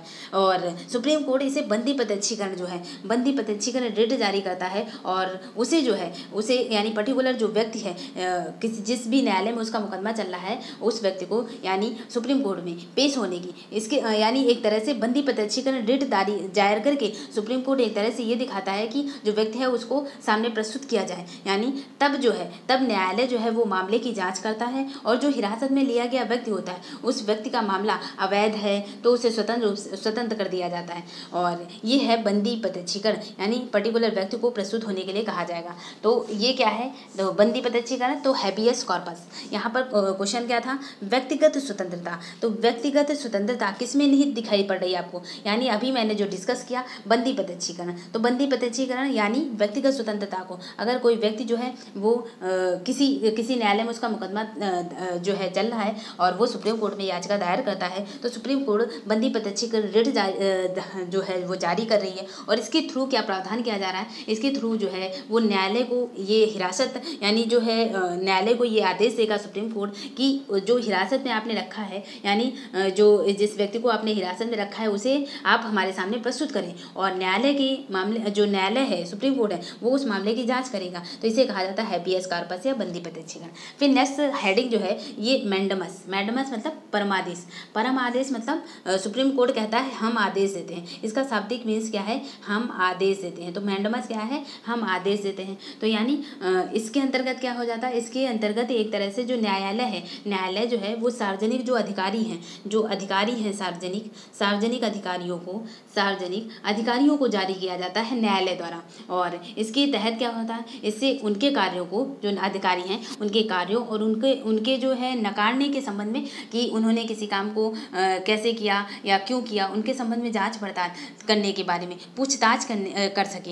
इसलिए न्यायालय जो है वो सार्वजनिक अधिकारियों को जारी करता है परमादेश कि हम आदेश देते हैं ये मुझे काम ये का जो है वो मिलना चाहिए या आप ये जो है इस संबंध में जानकारी दें। तो ये परम आदेश है और उससे, ये किससे संबंधित है? न्यायालय जो है सार्वजनिक अधिकारियों को जारी करता है। और इस संबंध में आप देखते हैं कि कोई भी जैसे सार्वजनिक इकाई हो गई तो सार्वजनिक इकाई हो गई, निगम हो गया, अधीनस्थ जो न्यायालय हैं, प्राधिकरण हैं, या सरकार के खिलाफ समान उद्देश्य के लिए जो जारी किया जाता है ये तो इसमें क्या है? ये परमादेश हो गया, मैंडमस हो गया। यानी शाब्दिक अर्थ कि हम आदेश देते हैं। यानी इसके तहत क्या हुआ? सुप्रीम कोर्ट कार्यपालिका को उसके संवैधानिक कर्तव्यों को पालन करने के लिए जारी करता है। तो मैंडमस हो गया। तो उसके बाद ये है को वारंटो को वारंटो क्या है? अधिकार परीक्षा। अधिकार परीक्षा मतलब जब कोई व्यक्ति जो है या ये किस संबंध में जारी किया जाएगा? इस ये संबंध जो है ये किसी सार्वजनिक व्यक्ति के संदर्भ में जारी जा, यानी सार्वजनिक अधिकारियों के संदर्भ में जारी किए जा रहे हैं। या फिर न्यायपालिका जो है न्यायपालिका जो है कार्यपालिका द्वारा यानी एक तरह से न्यायपालिका जो है अधीनस्थ न्यायालयों में जो भी मुकदमे चल रहे हैं, उन मुकदमों को, यानी उन मुकदमों से व्यक्ति जो है वो संतुष्ट नहीं है, या उसके जजमेंट से संतुष्ट नहीं है तो उस कंडीशन में जो व्यक्ति है पर्टिकुलर व्यक्ति जिसका किसी भी न्यायालय में मुकदमा चल रहा है, वो सुप्रीम कोर्ट में अपनी याचिका दायर कर सकता है। और इसके थ्रू यानी इसके थ्रू अगर जो सुप्रीम कोर्ट है, वो जैसे कि को वारंटो, यानी अगर को वारंटो रिट जो है वो जारी कर दी सुप्रीम कोर्ट ने तो इसमें क्या होता है, को वारंटो मतलब अधिकार पेक्षा यानी इसे इसे क्या होगा, ये अगर को वारंटो जो है, को वारंटो के द्वारा, इसे न्यायालय द्वारा, किसी भी व्यक्ति द्वारा, न्यायालय द्वारा, किसी व्यक्ति द्वारा सार्वजनिक जो कार्यालय हैं, सार्वजनिक कार्यालय में दायर जो दायर अपने दावों के लिए जो अपने दावे हैं, अपने दावे की जाँच के लिए जारी किया जाता है। यानी एक तरह से जो अधिकार पेक्षा है। अधिकार पेक्षा क्या है? तो अधिकार पेक्षा जब कोई व्यक्ति जो है, अधिकार पेक्षा या को वारंट तो जब कोई व्यक्ति, जब कोई व्यक्ति जो है जब कोई व्यक्ति जो है अपने पद की शक्तियों का, अपने पद की शक्तियों का गैर कानूनी तरीके से प्रयोग करता है, अपने पद की शक्तियों का गैर कानूनी तरीके से प्रयोग करता है तो इसे क्या कहा जाता है?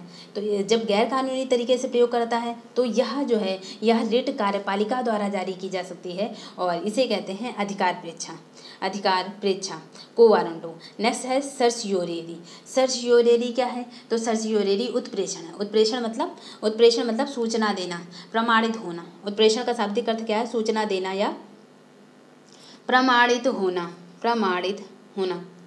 तो उत्प्रेषण क्या है? उत्प्रेषण मतलब इसे उच्च न्यायालय द्वारा जो है वो अधीनस्थ न्यायालयों को या अधिकरणों को या जो लंबित मामले हैं तो दूसरे न्यायालयों में चल रहे हैं। तो उनको सीधे अपने यहाँ पर उत्प्रेषण के माध्यम से क्या होगा? सूचना देकर के उन्हें सीधे अपने यहाँ पर मंगा लिया जाता है। तो इसे कहते हैं उत्प्रेषण यानी किसी भी मुकदमे या किसी भी न्यायालय में वो चल रहा हो मुकदमा, उसे अपने यहाँ पर मंगा लेंगे, वो उत्प्रेषण है। और प्रतिषेध क्या होता है? प्रतिषेध जो एक वर्ड जो है, यहाँ पर नहीं लिखा, जो चौथा, पांचवा जो रिट है, वो प्रतिषेध है। प्रोहिबिशन प्रोहिबिशन मतलब रोक देना।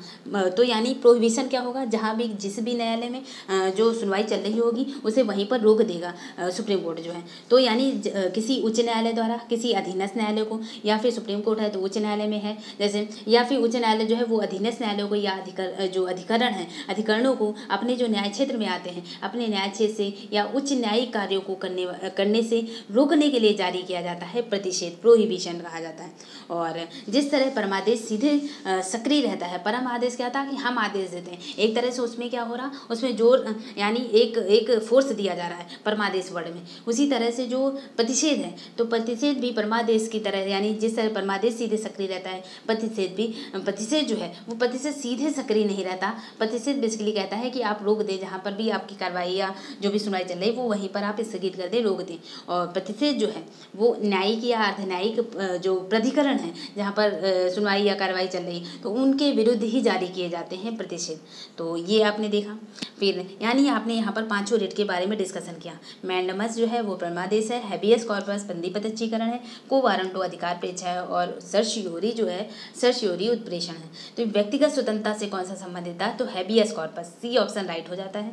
नेक्स्ट क्वेश्चन है यहाँ पर. नेक्स्ट क्वेश्चन क्या है? तो नेक्स्ट क्वेश्चन है यहाँ पर कौन व्यक्तिगत स्वतंत्रता से संबंधित है. तो व्यक्तिगत स्वतंत्रता से अभी आपने डिस्कस किया कि व्यक्तिगत स्वतंत्रता से बंदी प्रत्यक्षीकरण संबंधित है. हैबियस कॉर्पस ठीक है. नेक्स्ट क्वेश्चन हम लोग डिस्कस करते हैं. नेक्स्ट क्वेश्चन है seventy five number question next question होगा सेवेंटी फाइव नंबर क्वेश्चन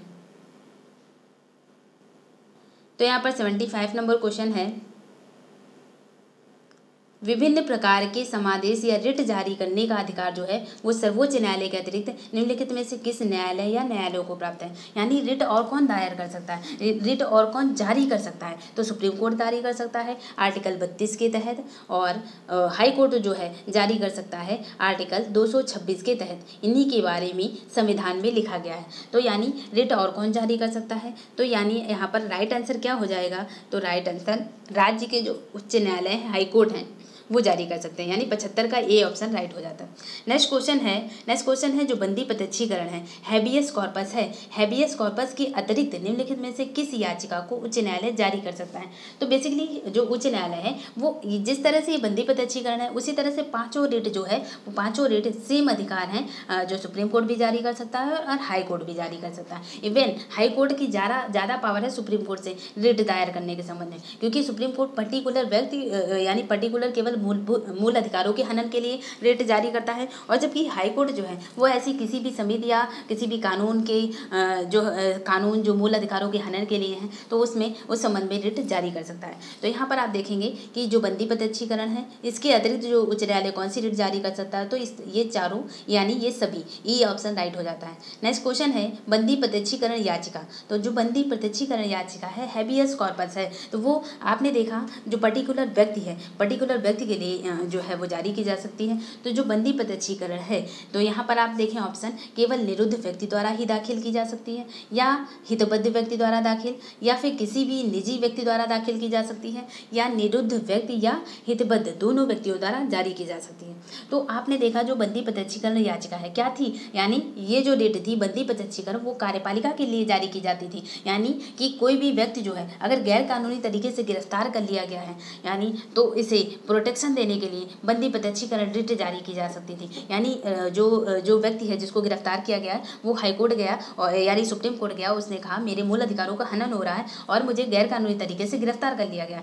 तो सुप्रीम कोर्ट यहाँ पर बंदी प्रत्यक्षीकरण रिट जारी करती है और इस रिट के थ्रू यानी कौन जो है ये बंदी प्रत्यक्षीकरण याचिका है, यानी, अब रिट के बाद यहाँ पर क्या वर्ड है? याचिका। याचिका कौन दायर करेगा? जो व्यक्ति जिससे जो जो इससे प्रभावित होगा। यानी जो भी इस कानून से, यानी जो भी प्रभावित होगा गिरफ्तारी से या इसके संरक्षण से, कार्यपालिका के कामों से जो भी प्रभावित होगा, वो वो याचिका दायर करेगा। तो सुप्रीम कोर्ट में व्यक्ति या पर्टिकुलर समिति या जो भी होते हैं, वो याचिका दायर करते हैं, जबकि रिट जारी कौन करेगा तो वो सुप्रीम कोर्ट या हाई कोर्ट। तो याचिका कौन दायर करेगा? तो याचिका कोई भी जो निरुद्ध व्यक्ति है या हितबद्ध उसका कोई व्यक्ति है। कोई जो, यानी पर्टिकुलर व्यक्ति जो है, उसकी आर्थिक स्थिति नहीं है कि वो सुप्रीम कोर्ट में अपना मामला ले जाए तो उससे संबंधित जो हित उसका चाहने वाला कोई व्यक्ति है वो दोनों दोनों द्वारा, यानी निरुद्ध व्यक्ति द्वारा या हितबद्ध व्यक्ति द्वारा दाखिल की जा सकती है बंदी प्रत्यक्षीकरण याचिका, हैबियस कॉर्पस रिट।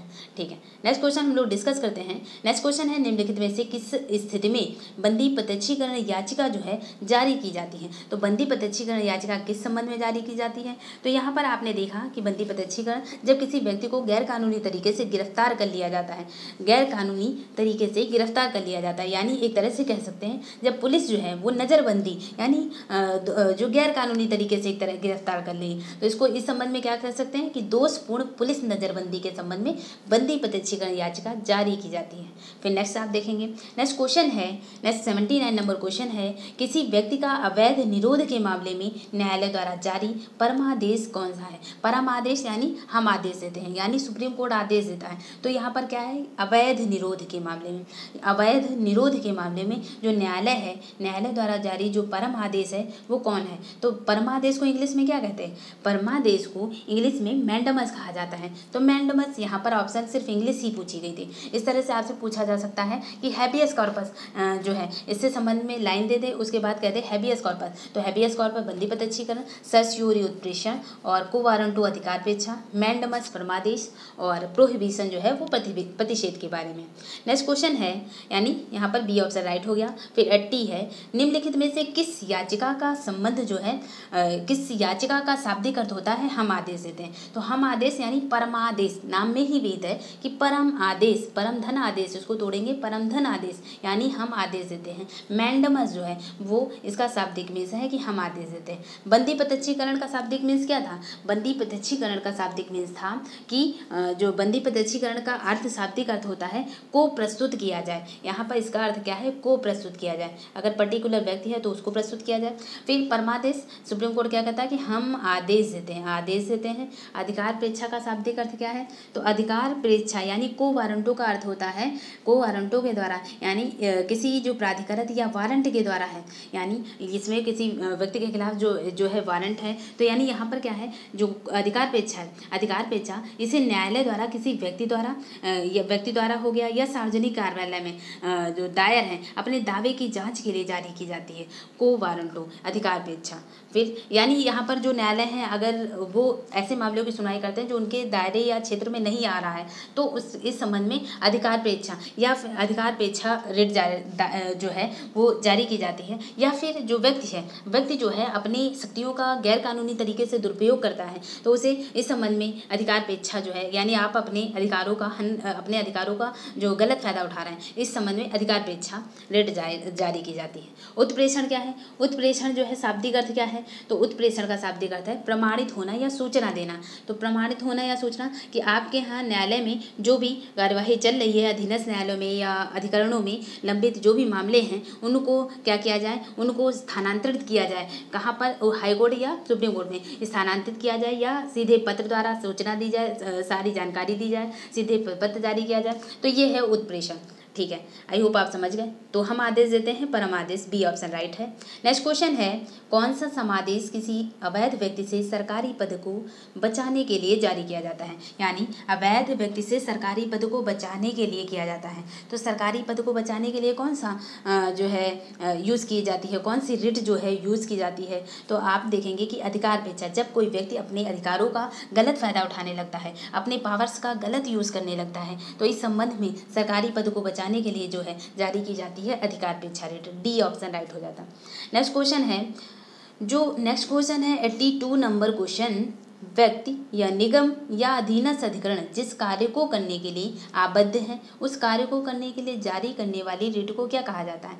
तो यानी जिसके थ्रू आबद्ध हैं, लोग जो है, जुड़े हैं, यानी व्यक्ति, निगम या अधीनस्थ अधिकरण जिस कार्य को करने के लिए आबद्ध हैं कर्तव्यबद्ध हैं, उस कार्य को जारी करने वाली रिट को क्या कहा जाता है? तो उस कार्य को जारी करने वाली रिट को क्या कहा जाता है? परमादेश। परमादेश मतलब हम आदेश देते हैं कि आपको मतलब ये कार्य करना है। तो यानी यहाँ पर क्या है? फोर्सबली वो चीज़ दी जा रही, आबद्ध करी जा रही है। तो आबद्ध यानी परमादेश, बी ऑप्शन राइट हो जाता। है फिर नेक्स्ट क्वेश्चन है, वह रिट जो भारत के सर्वोच्च न्यायालय अथवा सर्वोच्च न्यायालय द्वारा किसी व्यक्ति या सार्वजनिक संस्था को आदेश देती है तो आदेश वर्डिंग निकल आई आपकी। तो आदेश देगी कब? जब परमादेश होगा। तो आदेश से परमादेश आप निकाल लें यहाँ पर आबद्ध यानी फोर्सबली कोई चीज़ कही जा रही तो परमादेश आप निकाल लें फिर नेक्स्ट क्वेश्चन आप देखेंगे रिट से संबंधित। रिट है कि निम्नलिखित में से, निम्नलिखित में से किस लेख या रिट द्वारा, रिट द्वारा किसी सक्षम न्यायालय किसी सक्षम न्यायालय द्वारा किसी व्यक्ति या निगम या निचली अदालतों को ये अधिकार या आदेश दिया जाता है। तो जैसे ही आदेश आए तो परमादेश आबद्ध है तो परमादेश। ठीक है तो यहाँ पर ये क्वेश्चन नंबर था एट्टी फोर तो एट्टी फोर का बी ऑप्शन राइट हो जाता है। नेक्स्ट क्वेश्चन है नेक्स्ट क्वेश्चन है, एक ऐसी याचिका जो एक ऐसी याचिका जो न्यायपालिका द्वारा जारी की जाती है और जिसमें कार्यपालिका को कहा जाता है कि वह यह कार्य करे जो उसे सक, उसे प्राप्त शक्तियों के अंतर्गत करना चाहिए था यानी रिट याचिका को कहा जाता है। तो एक ऐसी याचिका जो न्यायपालिका द्वारा जारी की जा रही है और जिसमें कार्यपालिका को निर्देश दिए जा रहे हैं यानी ये ये कहा जा रहा है कि कार्यपालिका जो है वो ये कार्य करे जो उसे प्राप्त शक्तियों के अंतर्गत करना चाहिए था। तो ऐसी रिट ऐसी याचिका को क्या कहा जाता है? तो ऐसी रिट या ऐसी याचिका को क्या कहेंगे? मैंडमस। मैंडमस मतलब मैंडमस मतलब भी परमादेश, क्योंकि यहाँ पर भी आदेश दिया जा रहा है कि वही कार्य करें जो उनको सूचित किया जा रहा है, जो उनके अंतर्गत है। तो यहाँ पर भी एक तरह से अधिकार जो है, एक तरह से क्या कहा जा रहा है? एक तरह से आदेश देने का कार्य हो रहा तो एट्टी का भी बी ऑप्शन राइट हो जाएगा मैंडमस या परमादेश। फिर नेक्स्ट क्वेश्चन है।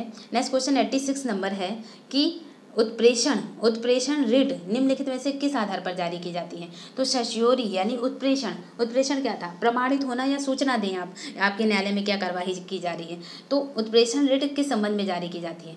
पहला ऑप्शन है अधिकारता का अभाव या अधिकारता से बाहर किए गए कार्य के लिए। ठीक है? अधिकारता का अभाव या अधिकारता से बाहर किसी किए गए कार्य के लिए। दूसरा ऑप्शन है, नैसर्गिक न्याय के सिद्धांतों का अतिक्रमण होने पर। यानी अगर आप अपनी पावर का, नैसर्गिक न्याय के सिद्धांतों का अतिक्रमण कर रहे हैं तो ये भी उत्प्रेषण। तो यहाँ पर नेक्स्ट ऑप्शन है नेक्स्ट ऑप्शन है कि अभिलेख में प्रत्यक्ष प्रकट विधि के विधिक त्रुटि के आधार पर, यानी कोई कानूनी विधिक त्रुटि के आधार पर अभिलेख में प्रकट किया गया। तो ये तीनों मेजर कारण दिख रहे हैं इसमें, ये तीनों मेजर कारण दिख रहे हैं, जिसके खिलाफ जो है, यानी जिसके खिलाफ जो है, ये तीनों मेजर कारण जो हैं, वो उत्प्रेषण के दिख रहे हैं। यानी उत्प्रेषण में क्या है कि अधिकारता का अभाव हो, या अधिकारता से बाहर कोई कार्य किया गया है तो उसे जो है उत्प्रेषण, यानी सूचना या प्रमाणित होने का जो है वो प्रमाणित होने की सूचना दी जाएगी कि आप प्रमाणित करें या सूचना दें आपके यहाँ जो कार्यवाही जो चल रही है। तो इस संबंध में यानी अधिकारता का अभाव या अधिकारता से बाहर किए गए कोई भी कार्य या नैसर्गिक न्याय के सिद्धांतों का अतिक्रमण होने पर ये रिट जारी की जाएगी और या फिर अभिलेख में प्रत्यक्षता प्रकट विधिक त्रुटि के आधार पर ये रिट जो है जारी की जाएगी उत्प्रेषण की। तो उपयुक्त सभी ऑप्शन राइट हो जाता है। D option. फिर नेक्स्ट क्वेश्चन है, नेक्स्ट क्वेश्चन है eighty seven number question. Eighty seven number question है, निम्नलिखित में से किस याचिका के अधीन किसी कर्मचारी को ऐसी कार्यवाही करने से रोका जाता है, जिसके लिए सरकारी तौर पर वो हकदार नहीं है? तो सरकारी तौर पर वो हकदार नहीं, ऐसी कार्यवाही को करने के लिए रोका जाएगा। तो रोका किस कार्यवाही के तहत जाएगा? यानी उसके अधिकार में नहीं है वो चीज़। तो वो उस पर कानून नियम या लागू ना करे, ना बनाए तो यानी अधिकार परीक्षा, बी ऑप्शन राइट हो जाता है। नेक्स्ट क्वेश्चन है, न्यायालय द्वारा जारी किए गए परमादेश, यानी हम आदेश देते हैं परमादेश के माध्यम से न्यायालय। तो परमादेश के माध्यम से न्यायालय क्या करेगा?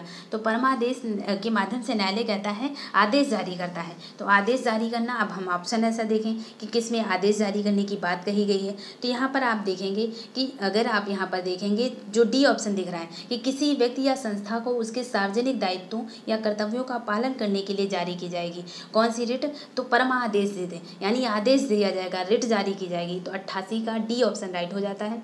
नेक्स्ट क्वेश्चन है, कौन मूल अधिकारों के अंतर्गत नहीं आता है? तो कौन मूल अधिकारों के अंतर्गत नहीं आता है? आपने देखा स्वतंत्रता का अधिकार आता है, समानता का अधिकार आता है, शोषण के विरुद्ध अधिकार आता है। जबकि संपत्ति का जो अधिकार था, वो मूल अधिकारों में इसका स्थान था। लेकिन वर्तमान समय में चवालीसवें संविधान संशोधन 1978 के माध्यम से 1978 के द्वारा संपत्ति के अधिकार को मूल अधिकारों की श्रेणी से हटा दिया गया और इसे एक वैधानिक विधिक दर्जा दिया गया और वर्तमान समय में इसे 300 का आर्टिकल के तहत वैधानिक दर्जा प्राप्त है। तो ये अब एक मूल अधिकार नहीं है, संपत्ति का अधिकार। तो यहाँ पर राइट आंसर क्या हो जाएगा?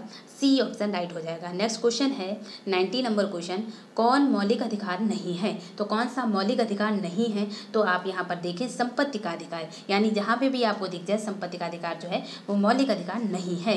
वर्तमान समय में ये वैधानिक या संवैधानिक अधिकार बन गया है। तो इस तरह से आप देखते हैं समानता का अधिकार भी है, स्वतंत्रता का अधिकार भी है और संवैधानिक प्राधिकार का भी अधिकार है, लेकिन संपत्ति का अधिकार नहीं है। डी ऑप्शन राइट हो जाता। नेक्स्ट क्वेश्चन है नाइन्टी वन नंबर क्वेश्चन और सेम क्वेश्चन से बिलोंग करता हुआ, यानी संपत्ति के मौलिक अधिकार को कब समाप्त किया जाता है? तो संपत्ति के अधिकार को मूल अधिकारों की श्रेणी से समाप्त किया जाता है, चौवालीसवें संविधान संशोधन, उन्नीस सौ अठहत्तर के माध्यम से, यानी ए ऑप्शन राइट हो जाता है। नेक्स्ट क्वेश्चन है।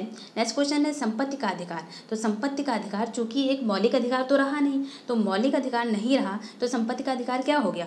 यानी नाइन्टी टू का क्या सही हो जाएगा? तो जो जो नाइन्टी टू का, यानी संपत्ति का अधिकार जो है, वो एक कानूनी अधिकार के दायरे में आ गया। कानूनी अधिकार हो गया।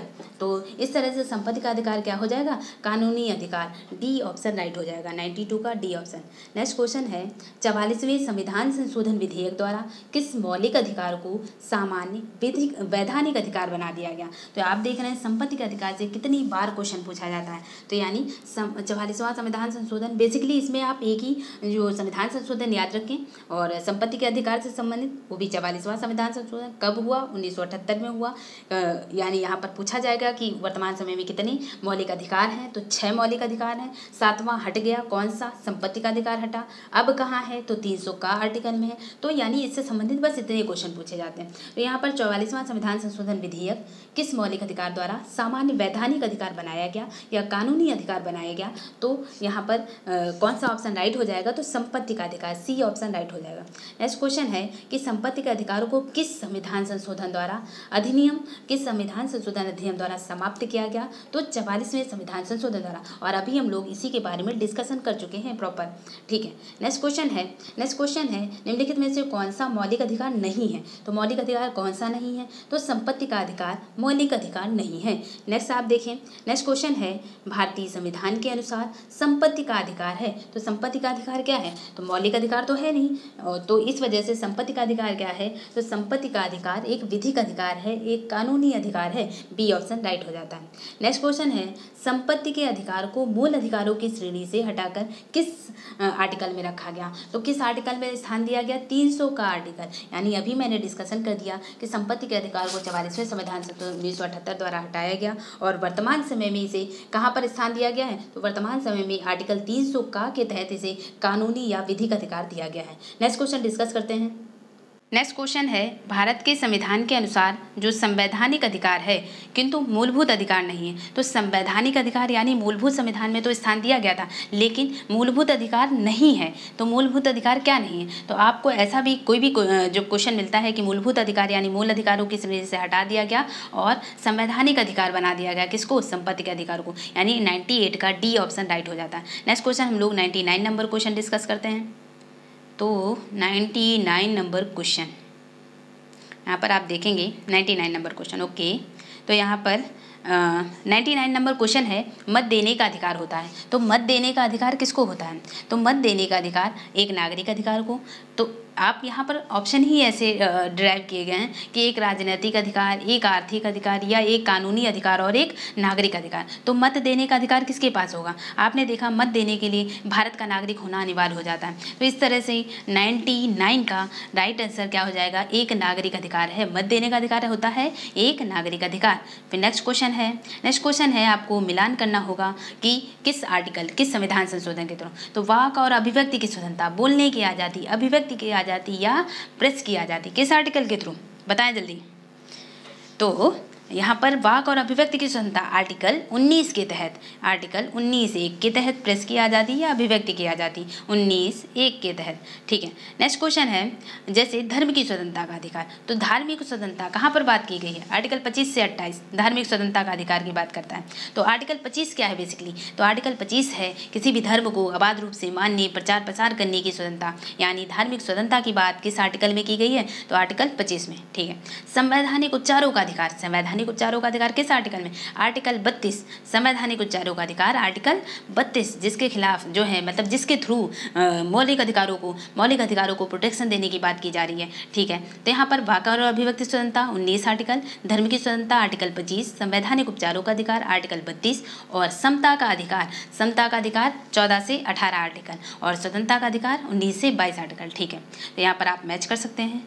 फिर उसके बाद एक सौ एक नंबर क्वेश्चन एक नंबर क्वेश्चन है मौलिक मौलिक अधिकारों में कौन सी बात स्वतंत्रता नहीं है? यानी मौलिक अधिकार में कौन सी बात की स्वतंत्रता नहीं है? तो किस बात की स्वतंत्रता नहीं है? तो आपको यहाँ पर ऑप्शन देखेंगे आप कि विचार करने की आज़ादी यानी अभिव्यक्ति की आज़ादी है, शांति, सम्मेलन करने की भी आज़ादी है बी और डी, बी और सी तो सही हो जाते हैं। फिर नेक्स्ट धरना देने की आज़ादी। तो धरना दे सकते हैं, शांति निरायुद्ध सम्मेलन कर सकते हैं आप, लेकिन हड़ताल नहीं कर सकते आप। हड़ताल से लोग प्रभावित होंगे। तो इस तरह से 101 का ए ऑप्शन राइट हो जाता है। 101 का क्या? 101 का ए ऑप्शन राइट हो जाता है। फिर नेक्स्ट क्वेश्चन आप देखेंगे 102 नंबर। किस वाद ने संसद को मौलिक अधिकारों में संशोधन का अधिकार दिया है? तो मौलिक अधिकारों में संशोधन किया जा सकता है। मौलिक अधिकारों में संशोधन का अधिकार किस किस वाद में कहा गया? तो किस वाद में कहा गया है? तो केशवानंद भारती बनाम केस, बहुत बड़ा वर्डिक्ट बहुत बड़ा जो है, इससे मेजर चेंजमेंट हुआ और हम लोग इसके बारे में बहुत डिटेल में भी देखेंगे। तो यहाँ पर बेसिकली हम लोग क्वेश्चन जो डिस्क्राइब कर रहे हैं तो यहाँ पर आप देखें कि केशवानंद भारती बनाम जो केरल राज्य था, इसमें तेरह जजों की पीठ बैठती है और आज तक ऐसी कोई भी जो है, ऐसी पीठ नहीं बैठी, आज तक ऐसी बेंच नहीं बैठी जिसमें इतनी बड़ी बेंच ने जो मिलकर है जो निर्णय दिया हो। यहाँ पर केशवानंद भारती विवाद जो था, भूमि सुधार से भूमि से संबंधित जो वाद था और इसमें तेरह जजों की बेंच बैठी थी और जिसने जो जो है जो निर्णय दिया गया, तेरह जजों की बेंच ने दिया। तो यहाँ पर ये इसलिए बहुत महत्वपूर्ण हो जाता है, उन्नीस का ये केस, उन्नीस का ये जजमेंट तो किस वाद ने, किस वाद ने चौबीस अप्रैल उन्नीस सौ अप्रैल उन्नीस सौ तिहत्तर को केशवानंद भारती बनाम, जो है, केस में सुप्रीम कोर्ट का जजमेंट आया था, ठीक है? तो यहाँ पर है, किस वाद ने संसद को मौलिक अधिकारों में संशोधन का अधिकार दिया है? तो मौलिक अधिकारों में संशोधन का अधिकार केशवानंद भारती वाद से मिलता है। लेकिन केशवानंद भारती वाद में कहा गया था कि जो संसद है, या संसद को संसद संविधान के किसी भी भाग में संशोधन कर सकती है। लेकिन इससे जो है, मूलभूत ढांचे को परिवर्तित किए बिना संविधान के मूलभूत ढांचे को परिवर्तित करते, किए बिना किसी विभाग में संशोधन कर सकती है। तो इस तरह से मूल अधिकारों में संशोधन का अधिकार किस आर्टिकल, किस वाद से दिया गया तो केशवानंद भारती बनाम वाद से। 102 का ए ए ऑप्शन राइट हो जाता है। नेक्स्ट क्वेश्चन है। नेक्स्ट क्वेश्चन है वर्तमान समय में भारतीय संविधान के अंतर्गत जो संपत्ति का अधिकार है। तो संपत्ति का अधिकार क्या है वर्तमान समय में? बताएँ जल्दी। तो वर्तमान समय में भारतीय संविधान के अंतर्गत संपत्ति का अधिकार क्या है? तो संपत्ति का अधिकार एक, वैधानिक अधिकार है, एक कानूनी अधिकार। बी ऑप्शन राइट हो जाता है। नेक्स्ट क्वेश्चन है नेक्स्ट क्वेश्चन है निम्नलिखित में से कौन सा मूल अधिकार विदेशी नागरिकों को प्राप्त नहीं है? तो विदेशी नागरिकों को कौन सा मौलिक अधिकार प्राप्त नहीं है? तो विदेशी नागरिक जो हैं, विदेशी नागरिकों को, जैसा आपने आर्टिकल उन्नीस देखा, जो स्वतंत्रताएँ देखी तो जो स्वतंत्रताएँ, जैसे बोलने की आज़ादी, अभिव्यक्ति की आज़ादी तो अभिव्यक्ति की आज़ादी जो है, वो अपने नागरिकों को, यानी केवल केवल भारतीय नागरिकों को प्राप्त हैं, ना कि विदेशियों को। जबकि विधि के समक्षमता यानी कानून की नज़र में सब बराबर, चाहे वो देशी हो या विदेशी तो इस तरह से आर्टिकल चौदह, ये दोनों के लिए है। फिर उसी तरह प्राण और दैहिक स्वतंत्रता, सभी के प्राणों की रक्षा करना दायित्व है। तो आर्टिकल इक्कीस हो गया। शोषण के विरुद्ध किसी का भी शोषण नहीं किया जाएगा। तेईस और चौबीस आर्टिकल। तो ये सब क्या है? ये विदेशियों को भी प्राप्त है। लेकिन जो बोलने की आज़ादी है, अभिव्यक्ति की आज़ादी है, वो सिर्फ़ नागरिकों को ही प्राप्त है। तो विदेशी नागरिकों को क्या नहीं प्राप्त है? तो क्या नहीं प्राप्त है? अभिव्यक्ति की स्वतंत्रता। 104 का बी ऑप्शन राइट हो जाता है। नेक्स्ट क्वेश्चन है छः से चौदह वर्ष की आयु के बच्चों को शिक्षा का अधिकार किस आ, किस जो है किसमें अधिकार दिया गया है? तो छः से चौदह वर्ष की बालकों के लिए निःशुल्क शिक्षा का अधिकार जो है वो आपने देखा आर्टिकल इक्कीस का के तहत मौलिक अधिकारों में डाला गया छियासवें संविधान संशोधन दो हज़ार दो द्वारा दो हज़ार दो द्वारा। तो यहाँ पर राइट आंसर क्या हो जाता है? राइट आंसर की मौलिक अधिकार यानी यहाँ पर छः से चौदह वर्ष तक की बात की गई है तो मौलिक अधिकार। जबकि जो राज्य के नीति निर्देशक सिद्धांत है, जिनमें से आर्टिकल 45 आएगा तो जो राज्य के नीति निर्देशक सिद्धांत हैं, वहाँ पर छः से चौदह नहीं, वहाँ पर छः चौदह वर्ष से कम आयु के बच्चों की बात कही जाएगी। यहाँ पर क्या है? छः से चौदह वर्ष की बात। कहाँ पर? मौलिक अधिकारों में आप पढ़ेंगे। इक्कीस का आर्टिकल में, इक्कीस का, ठीक है। 105 का बी ऑप्शन राइट हो जाता है। नेक्स्ट क्वेश्चन है, समानता का अधिकार ठीक है तो समानता का अधिकार कौन से आर्टिकल आते थे? समता का अधिकार या समानता का अधिकार? चौदह से अठारह आर्टिकल चौदह से अठारह, यानी चौदह, पंद्रह, सोलह आ जाएँगे। तो किसका किसका समावेश? दो, तीन, चार। तो सी ऑप्शन राइट हो जाता है, ठीक है? 106 का सी ऑप्शन नेक्स्ट क्वेश्चन है, संविधान के अंतर्गत जो बंदी प्रत्यक्षीकरण है, यानी हैबियस कॉर्पस समादेश जारी करने का अधिकार किसमें निहित है? तो किसमें बंदी प्रत्यक्षीकरण आपने देखा? दो पाँच प्रकार की रिटें थी, वो हाई कोर्ट और सुप्रीम कोर्ट दोनों के पास अधिकार है। तो यहाँ पर सी ऑप्शन राइट हो जाएगा कि हाई कोर्ट और सुप्रीम कोर्ट दोनों को राइट है। एक सौ सात का सी ऑप्शन राइट हो जाएगा। नेक्स्ट क्वेश्चन है नेक्स्ट क्वेश्चन है कौन सा मौलिक अधिकार नहीं है? तो कौन सा मौलिक अधिकार नहीं है? संपत्ति का अधिकार बी ऑप्शन राइट हो जाता है। ठीक है 108 के बाद 109 नंबर क्वेश्चन क्या है?